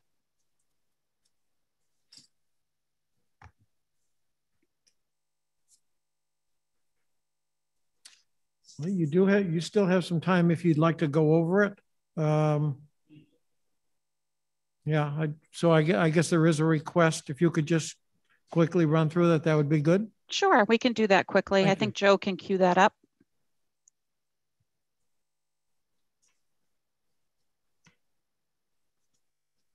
Thank you, Joe. So again, this is just an outline of what you're going to see here in the slideshow. So systems needs. Um, so the background of this is that in New Hampshire, uh, we don't have any specific facilities utilized to treat acute mental illness and forensic patients um, including those who are civilly committed for treatment. Um, currently, they're cared for at the SPU, the Secure Psychiatric Unit. Um, some of those forensic patients are also treated at New Hampshire Hospital, but our hospital is not well suited for this type of care due to some of the security needs that these patients have. In 2019, there was a lawsuit that was filed due to uh, unlawful confinement of a civilly committed patient in a correctional facility these are the various populations um, that could potentially utilize a forensic hospital. So you can see most of them are civilly committed patients. Um, and the different uh, classifications are listed here, as well as admission information um, at the SPU in 2019 and 2020. As it relates to emergency room boarding, there are 24 beds at New Hampshire Hospital that are currently occupied by forensic patients. These patients do have a very long length of stay compared to regular admission units. If in the future a 60 bed forensic hospital were constructed, those 24 beds at New Hampshire Hospital could be repurposed to help with emergency room boarding. Emergency room boarding would reduce due to the additional beds being available. Um, and that unit, that admission unit, um, or what we would convert to an admission unit, would have a shorter length of stay. So there would be more throughput here at the hospital. There's a little bit here just about the funding history, which you all probably are aware of. So those details are listed sort of um, in, you know, when an advisory council was established, um, and then in the Senate phase of budget, um, where there was an inclusion of 17.5 million in funding for the construction of the 25 bed forensic hospital. Um, so we believe that um, this was calculated, estimated, I'm sorry, this was calculated as half of the construction needs at the time. In committee of conference, the 17.5 million was reduced to 8.75. That, that money is non-lapsing. Um, and that's been funding that we've been utilizing um, to work on this project. So you can see that in the budget planning cycle, the governor's office reintroduced the original $17.5 million figure. It was included as part of HB2 instead of in a capital budget. And again, I'm trying to move quickly. The House has currently, at this point, removed that um, from HB2. This is a, a funding summary. And again, you'll see this in your supplemental. We've been getting questions about billing. Um, there is the potential to bill, but it would not generate a significant amount of revenue. So this just brings us to, you know, what, what have we been doing again with the 8.75 million that was appropriated? In FY 2020, the first three months of the year were a continuing resolution. So there was little progress made. In October of 2020, the continuing resolution ended and design conversations began with Public Works. And then COVID uh, happened in January of 2020 and really became the sole fo focus of the department in New Hampshire Hospital. Once our staff were fully vaccinated in January of 2021, we started to work on the project again. And we've had initial design meetings that have taken place. An, ar an architect has been contracted through Public Works. We've begun to outline design requirements. So um, building and, and uh, you know, really just operational requirements that we might have around programming. We've also met with the city of Concord um, and their planning board um, to, to explain that we are moving forward with a project that might potentially be located in Concord.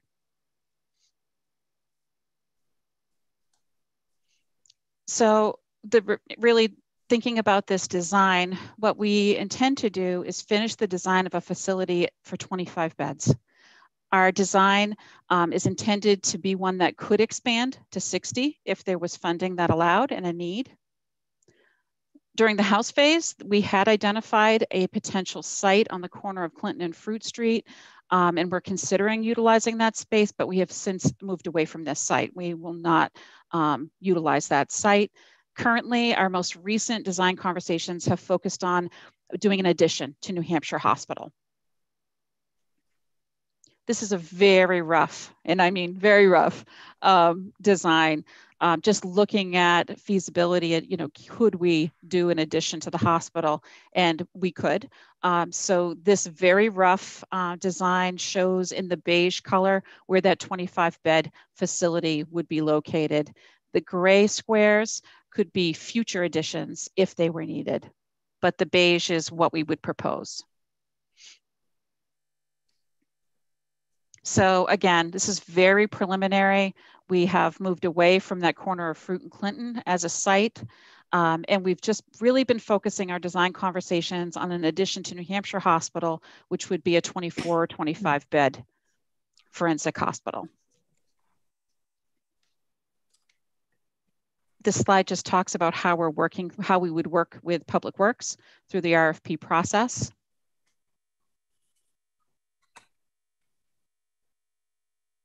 And this is really where we are now, um, making final decisions about what would be required of this hospital, talking with stakeholders and getting input, partnering with the legislature to identify funding, and ultimately issuing an RFP for a design build. Thank you, Heather. Uh, You're. Senator Rosenwald has a question. Thank you, Mr. Chairman. Heather, um, when we were working on the budget that we're currently in, we asked the department if uh, there could not be an addition to New Hampshire Hospital as a way of doing this. And the department told us, no, we cannot expand there. So I'm curious what has changed to make um, an expansion of New Hampshire Hospital possible when it wasn't a year and a half ago. Right. I, you know, and I, I wasn't a part of the conversations a year and a half ago. And thank you, Senator, for the question. I think that what this has come down to is the fact that, um, you know, utilizing this campus um, and utilizing the, uh, you know, original site and having a completely separate um, hospital was was preferred. Um, and I think that for forensic programming, that was the initial preferred approach. But at this point, because we couldn't find an appropriate site, um, the plan that you saw actually would be um, placed on where we have a parking lot right now. so um, while not ideal, um, the, the architects tell us that it is doable.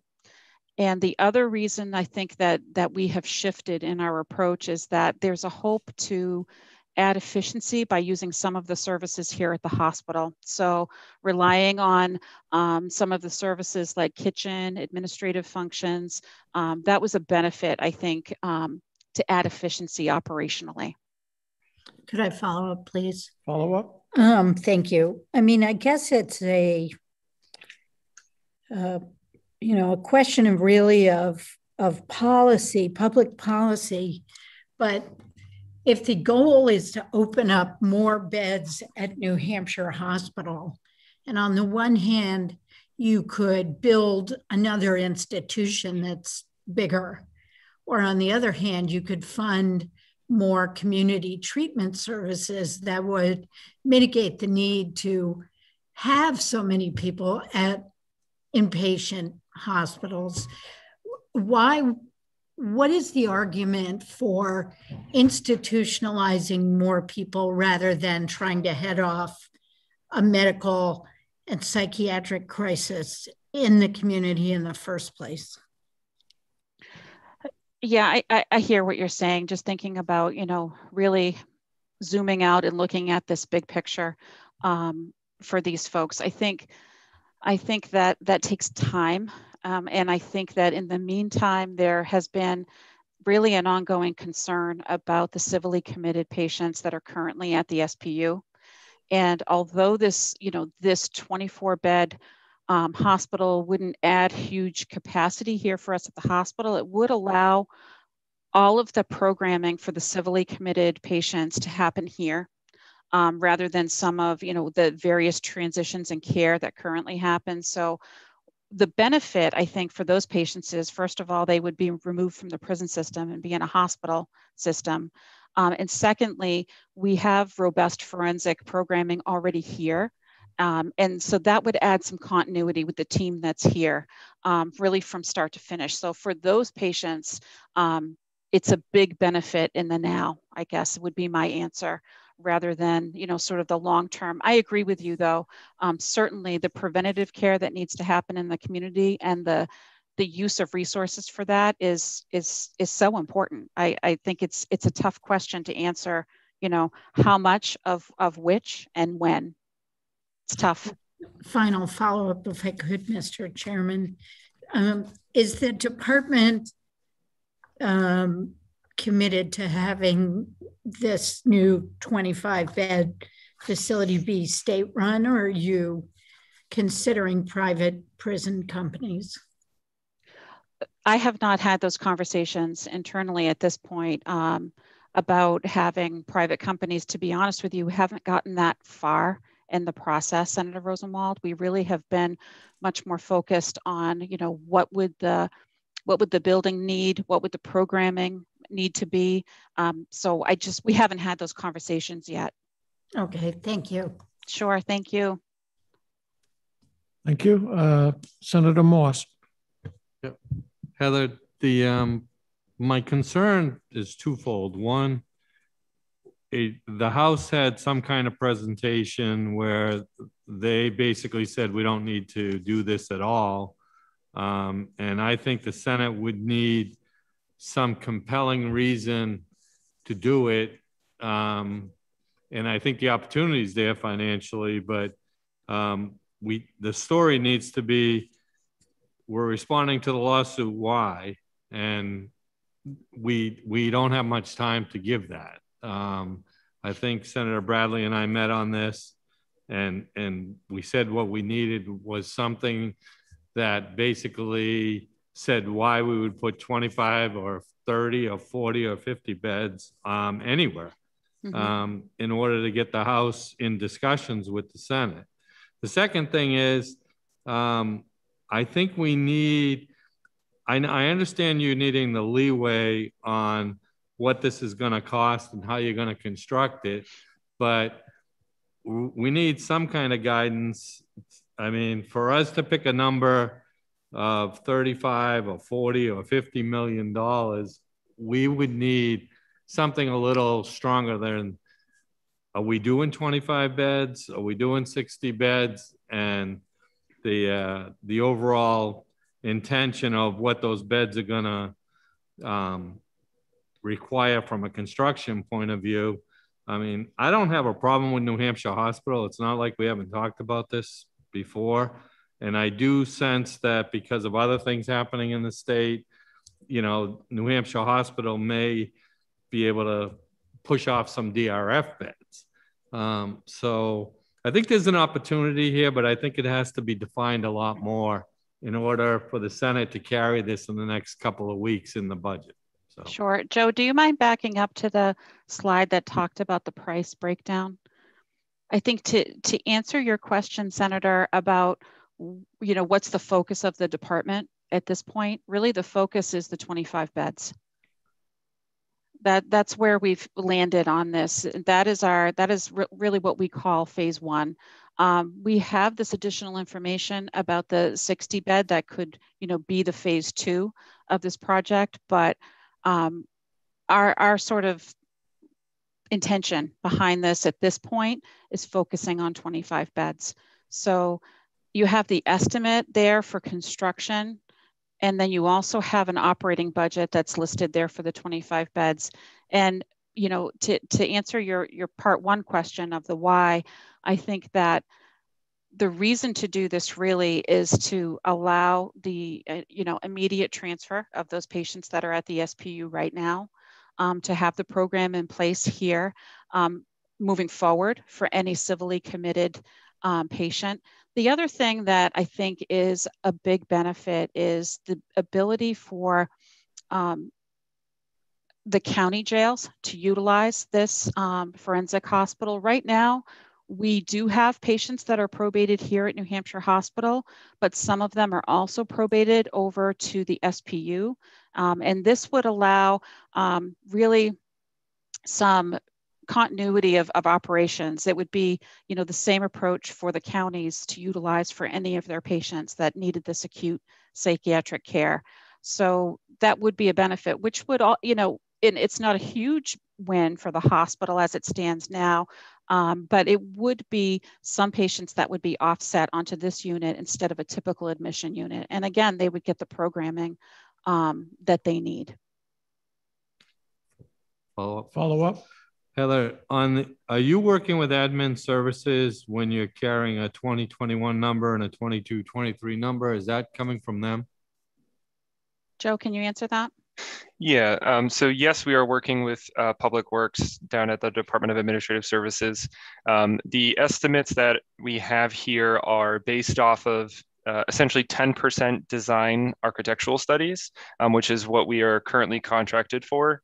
Um, and so they are based off of an architectural firm's uh, uh, design up to, you know, 10%. So it's it's kind of the shell and and um, based off of square footage requirements and, and things of that nature. Um, there are some additional considerations uh, in addition to that um, that that could move the number uh, one way or the other. That's really about the site work. Um, and because we're building on top of a parking lot that may have utilities that run underneath it and things of that nature, um, you know, those are some of the unknown factors of the cost per se, but these are based off of architectural um, um designs. Um, and then the operating budget um, that is based off of a model uh, that my staff has built based off of historical information from New Hampshire Hospital, consultation with the Department of Corrections, and then we have a consultant engaged through the architectural firm who previously ran forensic facilities in other states. And so, so that operating budget is really designed based off the input inputs from those three um, those three information sources. But it, there's no anticipation further.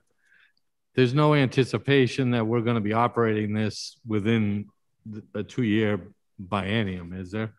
I That's correct that's correct. Um, we've we've just been asked the kind of the the question of what's our total investment in this. So beyond the capital budget, um, how much would this facility really run uh, uh, uh, take to run?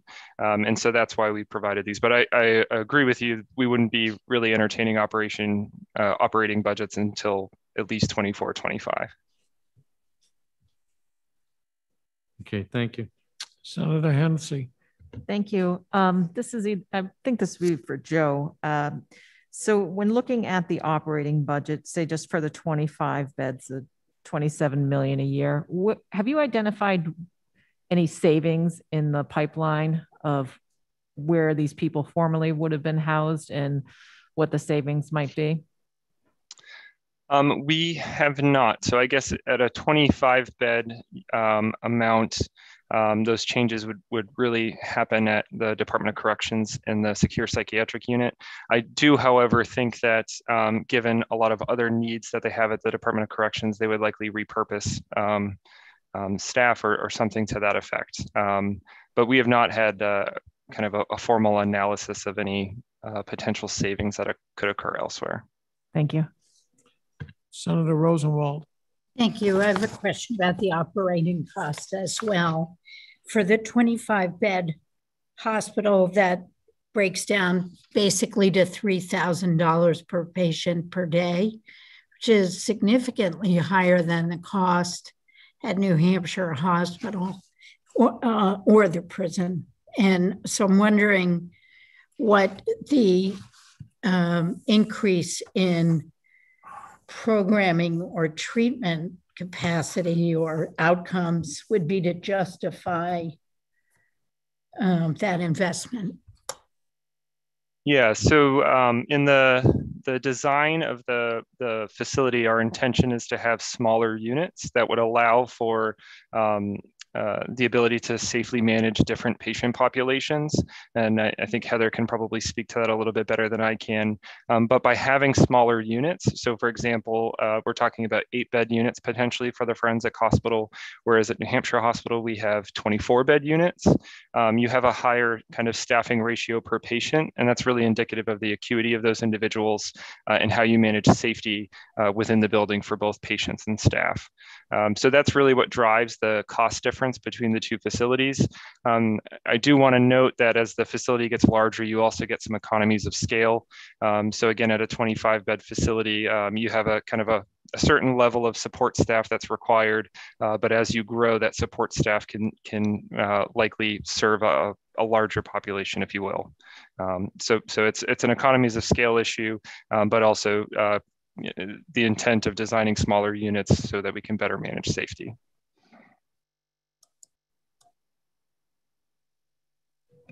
Any further questions?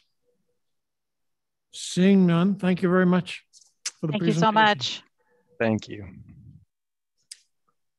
And our last presentation will be the Division of Children, Youth, and Families.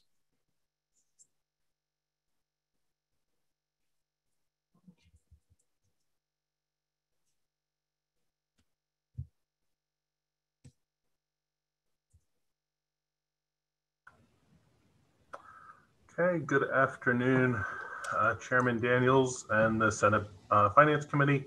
My name is Joseph Ribsam, Director of DCYF. My pleasure to spend part of the afternoon with you today. Um, I'm going to pull up a slideshow which has quite a bit of data. Um, at the chair's discretion, I'm happy to take questions if things arise related to that data directly, or if folks would rather wait till the end, I'm okay with that as well, whatever, whatever works for the group. And if you give me one second, I'll pull that up.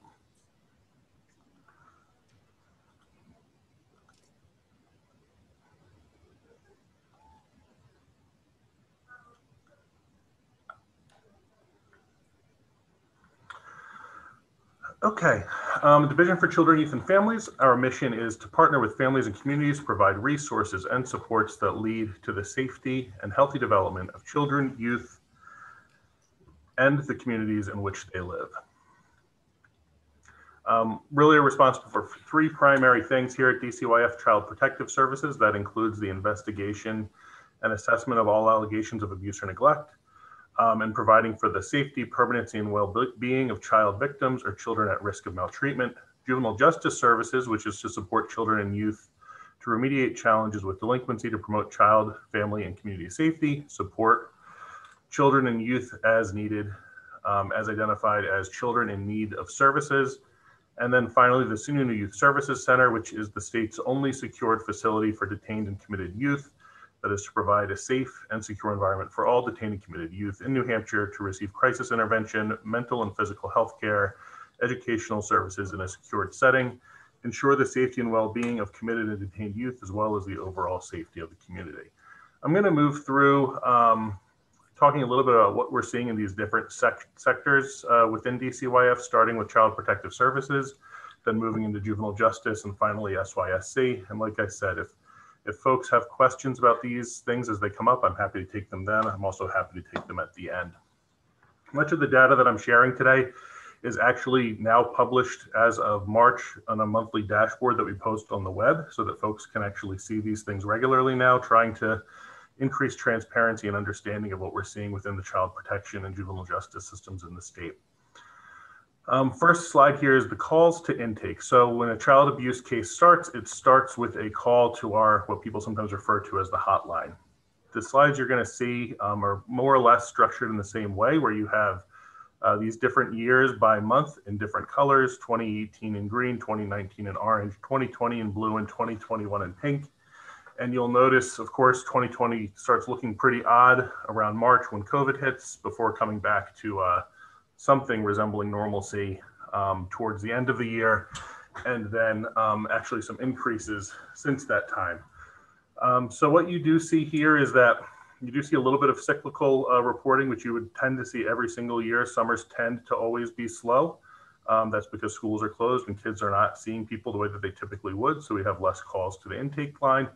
Um, you also see that same dynamic play out even more extreme in 2020 in those first months of COVID, where you can see the um, drop um, of calls to the intake line in April 2020, May 2020, June 2020, before the summertime starting to approximate normalcy. And then when the schools reopened, call volume remained on the low end, but not, not what I would consider to be unusually low.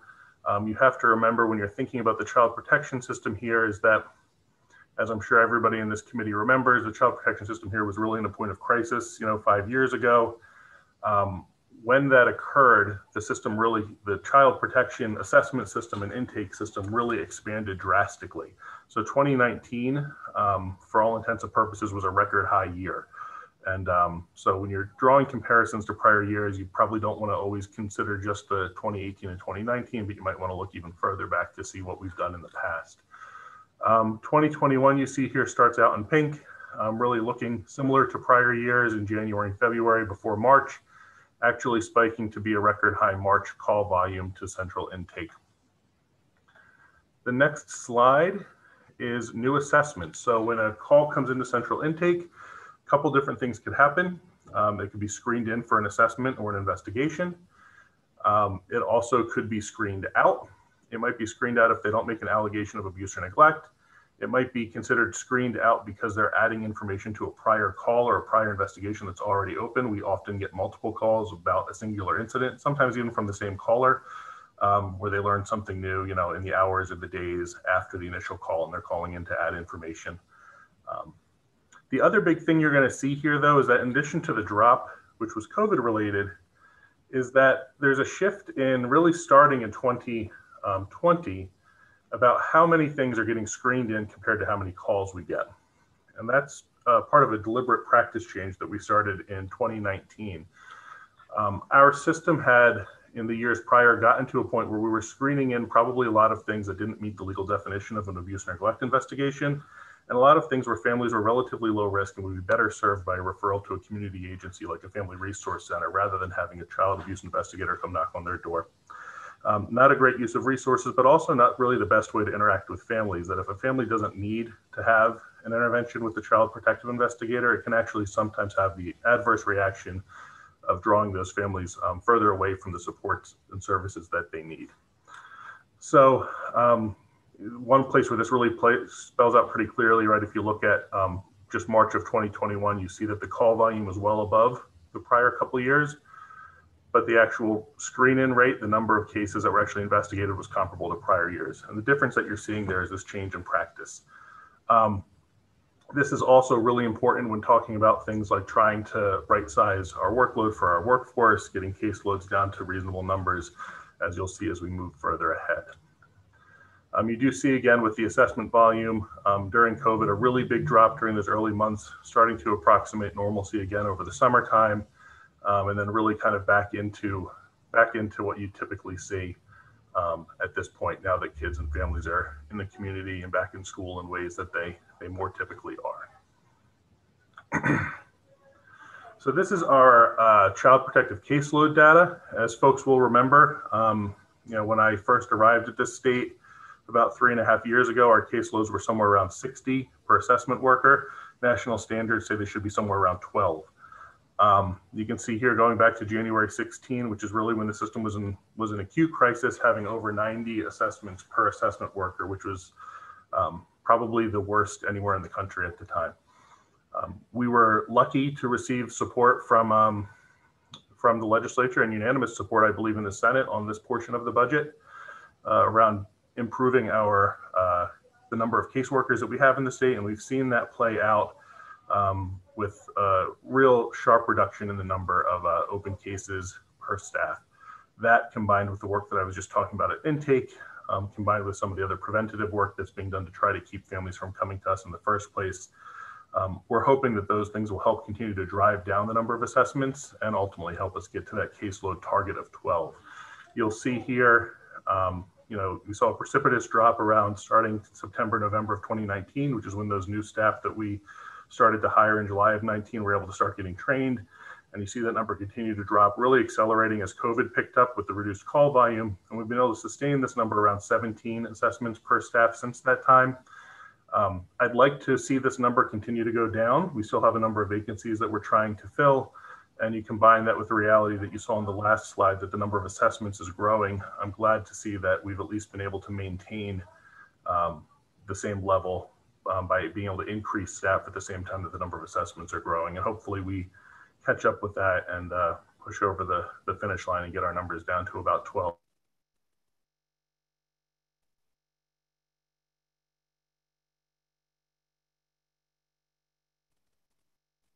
termination is that allegation of abuse or neglect substantiated or not?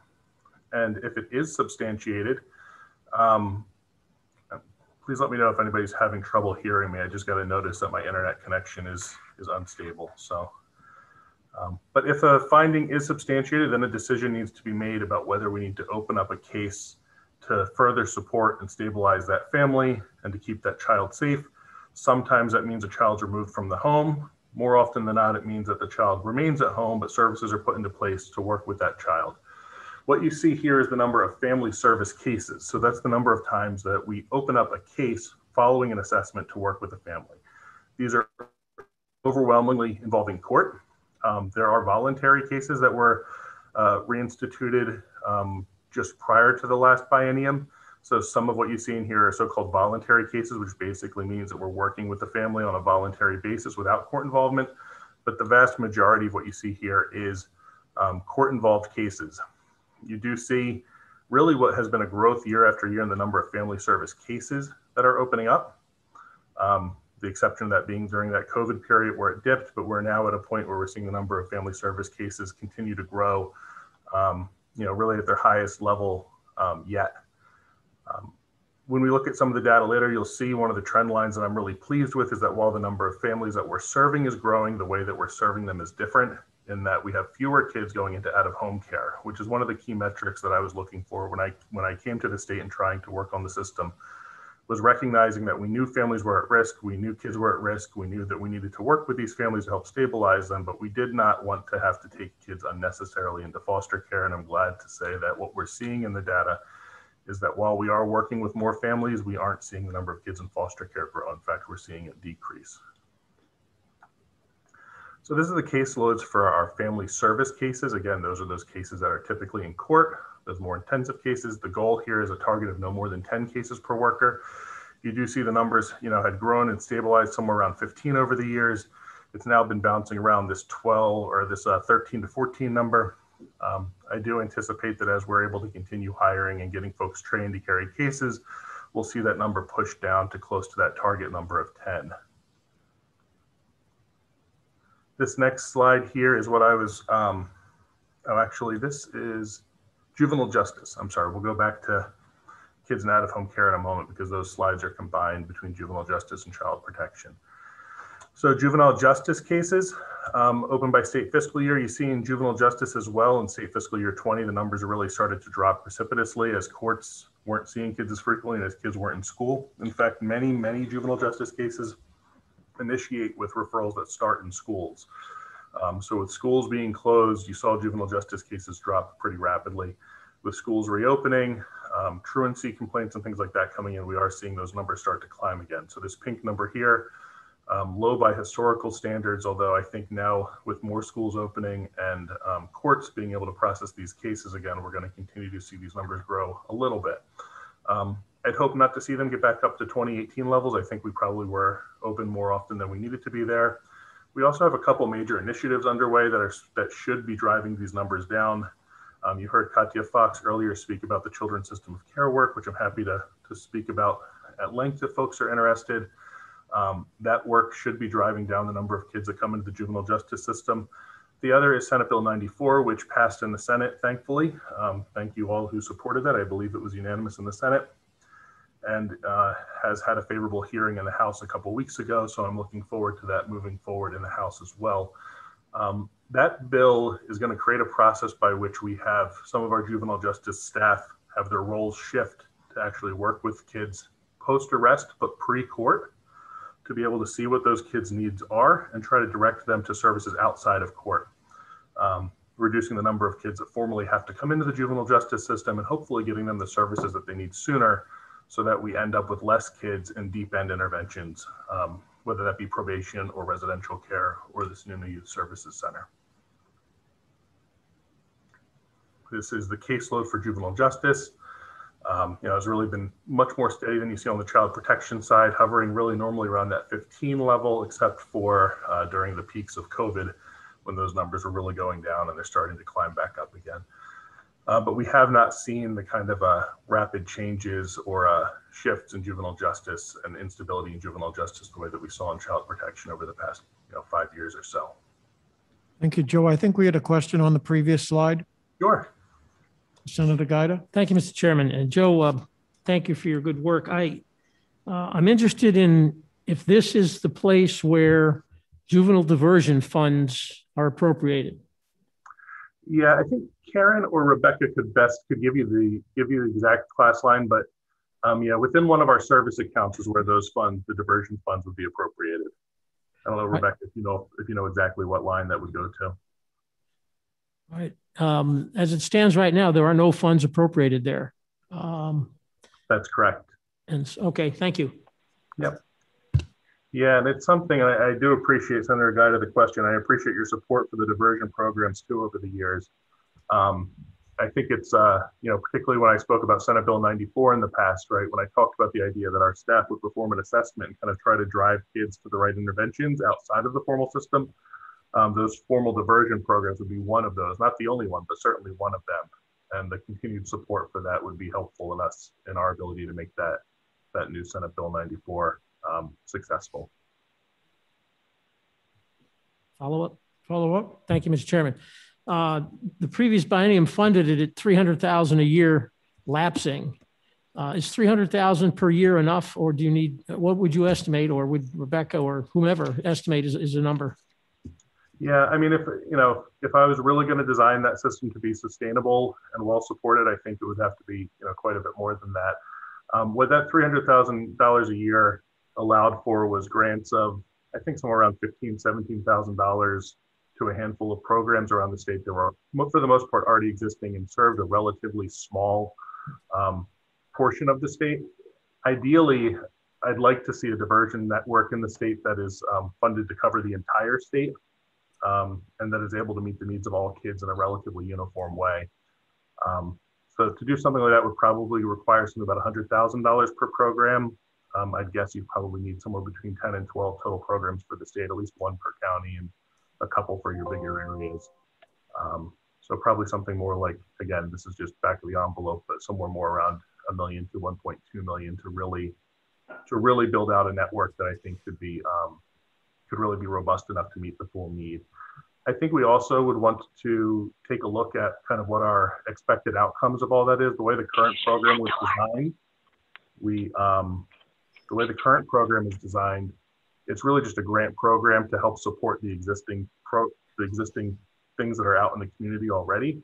Um, I think I would prefer to see the structure in a way where we had some outcome measures built in, maybe a, competitive procurement to try to make sure that we get coverage for the full state, um, and treat it more like we treat one of our normal our normal contracted services. You know, historically, diversion to sea has been a local enterprise um, that some jurisdictions um, engage in and that other jurisdictions do not engage in. So. Follow, follow up, follow up. Thank you, Mr. Chairman. The, um, the statistics on the success of that diversion versus the traditional courts uh, is, is staggering. And the cost savings to the taxpayers are ridiculously good.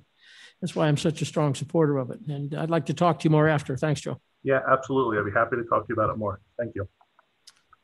Okay, seeing no further questions, please continue. Sure. So this next slide is what I was speaking about before about the number of youth in out-of-home care. Um, so while we've seen growth in the number of kids um, with you know open family service cases and even some growth in um, you know recent months in the number of assessments, I'm I'm very pleased to say that the number of kids in out-of-home care continues to decrease. And that's because we've been putting more and more into different types of community-based services to support families um, when kids are when kids are at risk, um, and to support kids in their own communities when they're involved in the juvenile justice system. Um, so you do see right in state fiscal year 2018, you know, being somewhere around 1,400 kids in out-of-home care between child protection and juvenile justice at any given time. And then more recently being somewhere down here to around 1,200. I actually think we can keep pushing this number down this is com combined kids in residential programs and foster care. So any kid who's in out-of-home care for any of the systems. Um, and this is one of the things that I think is you know really important that we try to keep putting our focus on making sure families are strong in the first instance, that if they come into contact with DCYF, that we do whatever we can to try to strengthen those families and keep those families intact where you can do so safely. I don't want to say that you, you know, certainly there are times when kids for their own safety do need to be removed from their home and that's a tool that the system needs and needs to employ when um, when kids are really um, unsafe but in many instances we can do a lot of work with families to keep kids safe and get the families the help that they need um, Sununu Youth Services Center. So I know there's been an awful lot of attention to this. Happy to take questions about this topic as well. Here you see kind of overall census by state fiscal year. You do see the decrease. This is the average daily population or the average population in those state fiscal years. So 2016, you know, a little over average of a little over 50, same with 2017, dropping down to 2020 where the average daily census was around 17. Um, the blue line here that you see are the total number of youths who have been served at SYSC during those years. And you do see the number of admissions and discharges here. The green and the light blue is higher than the total number of youths. That's because there are a number of youths who will come through the through the doors of SYSC more than once in a given year. Um, it's a really dynamic number. People hear the, you know, the average of 17, or other people will sometimes cherry pick a number and say, oh, there's only six kids in the facility or only eight kids in the facility. Um, what you see here is what the census is every day for the past year and change. Um, the green number being the total census around every day, and you see it changes from, you know, peak of last February of uh, 26, 27-ish, um, down to a low um, this uh, this past um, January of about I think it was eight kids or seven kids. Um, today the census is somewhere in the upper teens. The other thing you see here is this yellow line and this orange line. The yellow are the number of detained youth. The orange are the number of committed youth. The difference there is key. Um, the number of committed youth, those are the youth who have been fully processed through the courts in order to be committed to SYSC for a period of time. Typically, that's a three month length of stay at SYSC. Um, but for more serious offenses, it could be a six month length of stay for youth who are committed as juvenile offenders. The detained youth, which is the yellow bar here, that's a, actually a couple different populations mixed. So that is your short term detention. That's when a kid um, gets arrested and they're placed there pending the courts making another disposition. Sometimes those young people are there for just a matter of days or weeks um, before they're released. Um, but that also includes what we call kind of the long-term detained population, which would be young people who are charged as adults for very serious crimes.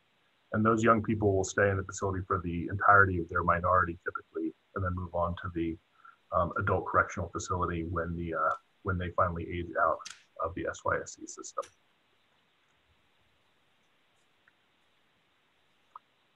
Um, challenges for the upcoming year, um, or really the upcoming biennium you know, just calling out the housing instability as being a, a, significant contributing factor for children entering foster care. It's often a barrier to reunification for kids who can go home, except for the fact that their families don't have stable housing, and a challenge for trans- transition age youth. That's youth who are aging out of our system and moving on to adulthood. Um, I know uh, when Chris Santaniello spoke, she shared quite a bit about the work happening in the housing space. We've been partnering with them on that and are very eager to see the progress made in that space. Um, recruitment and retention of staff. Um, I did share the data around the improved um, caseload numbers. Um, we still have a turnover rate that's that I'd consider to be an unhealthy number. Uh, state fiscal year 19, the total turnover rate was something like 20% when you excluded um, promotions um, because we also hired a lot of supervisors last year. So a lot of people took promotional opportunities from within. When you exclude those promotions, it was about 17%. Um, so that still is higher than I'd like to see for a large organization. People talk about a, a healthy turnover rate of being somewhere like 10%, right? People are going to retire, they're going to take other jobs, that's normal. Um, but I'd like to see us get that number down. Um, family strengthening programs for families prior to DCYF involvement. So as I mentioned before, we're doing this work at intake um, around trying to refer refer families away from a child protection investigation if that's not necessary and where they typically get referred to is to a family resource center. Um, since we've started doing that about a year ago, we are hearing from some of the family resource centers that they're strained um, with the number of families being referred to them. Um, so that's something that, I, that I'd like to uh, continue to work on with folks in the coming years. And I think the final major challenge for the coming biennium is really the replacement of SYSC or, or final decision making around what's going to happen with that. Right, it's a facility originally designed to serve 144 kids. We have an average daily census, typically somewhere in the in the mid to high teens. Um, and I think those are numbers that are naturally going to continue to decline in the coming years, assuming that the system of care work continues to move forward the way is planned, and assuming that the SB 94 work and the diversion work that Senator Giuda and I that we're just speaking about continues to move forward as planned. Um, that we'd likely see that census, uh, like I said, which is currently in the mid to high teens, continue to go down, um, making the, the utilization of 144 bed facility, you know, just a, even more um, more um, challenging than it is today. Joe, slide 14 that you are uh, showing oh, yes. now is different than the one we have? Yes, I apologize for that. I accidentally sent Karen um, a different version. We'll follow up and send this version to you. Which one is the latest? The, the one that you are showing? Yes. Okay, if you could just make sure that uh, Deb gets a copy of, and then we can replace it. Thank you. Yes, thank you. And then the next two slides are just the budget detail. I think Rebecca, you were gonna share about these. Sure. Um, the two areas that were not funded by the House were the 22 CPSWs for each of the fiscal years, 23, uh, 22 and 23, and then um, fiscal year 23 for SYSC. And the other And thing you that I would see, okay, go ahead. I was just going to add the other thing I would add here about the uh, child protection budget is the change that you see in 22 23 is because we did move some expenditures to Medicaid.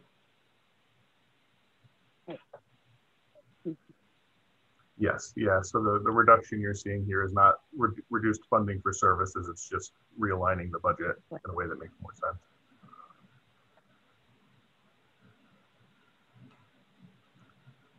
And then I think this is just reiterating the same, Rebecca. Correct. Yeah, just breaking it out by year. Great. And I would say the 22 CPSW positions, these are not creating new positions. These were positions that were created in the last biennium. Um, um, were not funded originally in the governor's phase, but the governor did include in a subsequent, in his subsequent letter that he supported funding these um, given the enhanced revenue projections. And these are positions that we, we do need to fill to continue pushing down the caseloads to what our, what our target ranges are. And with that, I'm happy to take questions. Okay, thank you. Are there any questions? Senator Hennessey. Thank you. Hi, Joe. Nice to see you. I have a question on the, when the House looked at the um, Sununu Youth Service Center budget on page 1117, I see a 30% jump from fiscal year 2020 actual to the governor and House proposed budget for 22. Can you tell me why there's such a steep increase? Um, I don't know, Karen or Rebecca, if you could help articulate that. Part of that has to do with um, large number of vacancies at SYSC um, that were not. So because of that large number of vacancies as, as a, at SYSC, um, uh, unfortunately, a lot of time is spent there by our juvenile justice probation officers covering shifts, which isn't really a sustainable model and probably isn't the most cost-effective model because they cost more than a youth counselor. Um, so I know that's one of the significant reasons why the SYSC budget um, actual expenditures is probably somewhat depressed from what um, from what uh, is projected in the budget. Follow up. And do you know what the projected lapse for 2021 is for that? I do not. Rebecca, do you know that or Karen? While Rebecca's looking that up, part of the increased cost was um, contractual services for the Dartmouth contract and a little bit of change in the model of how we're using Dartmouth employees at SYSC. I don't know if you want to speak to that, Joe. Sure. Yeah, we um, we have shifted. We previously had a full-time psychiatrist um, at SYSC when the population was greater. We've decided that um, we didn't need so much time from the psychiatrist, so we only have a quarter-time psychiatrist now. But we did add a full-time psychologist down there, who is working to redesign the program model, um, really to align it to best practices and clinical treatment needs um, in a way that probably is well overdue um, at the facility.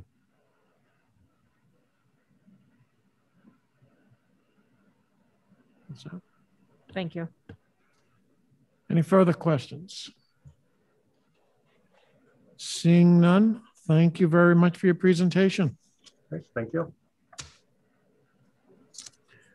And with that, uh, we have completed our business for the day. Uh, tomorrow will be the public hearing.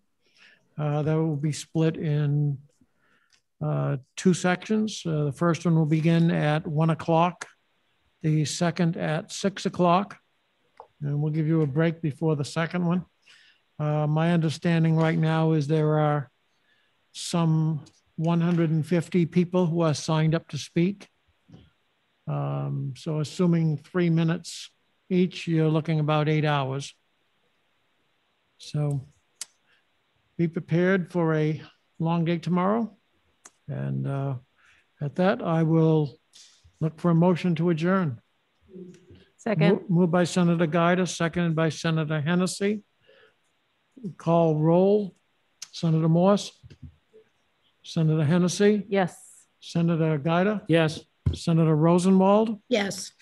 And Senator D'Allesandro and Senator Reagan are excused. And the chair votes yes, and we will be adjourned for the day. Thank you.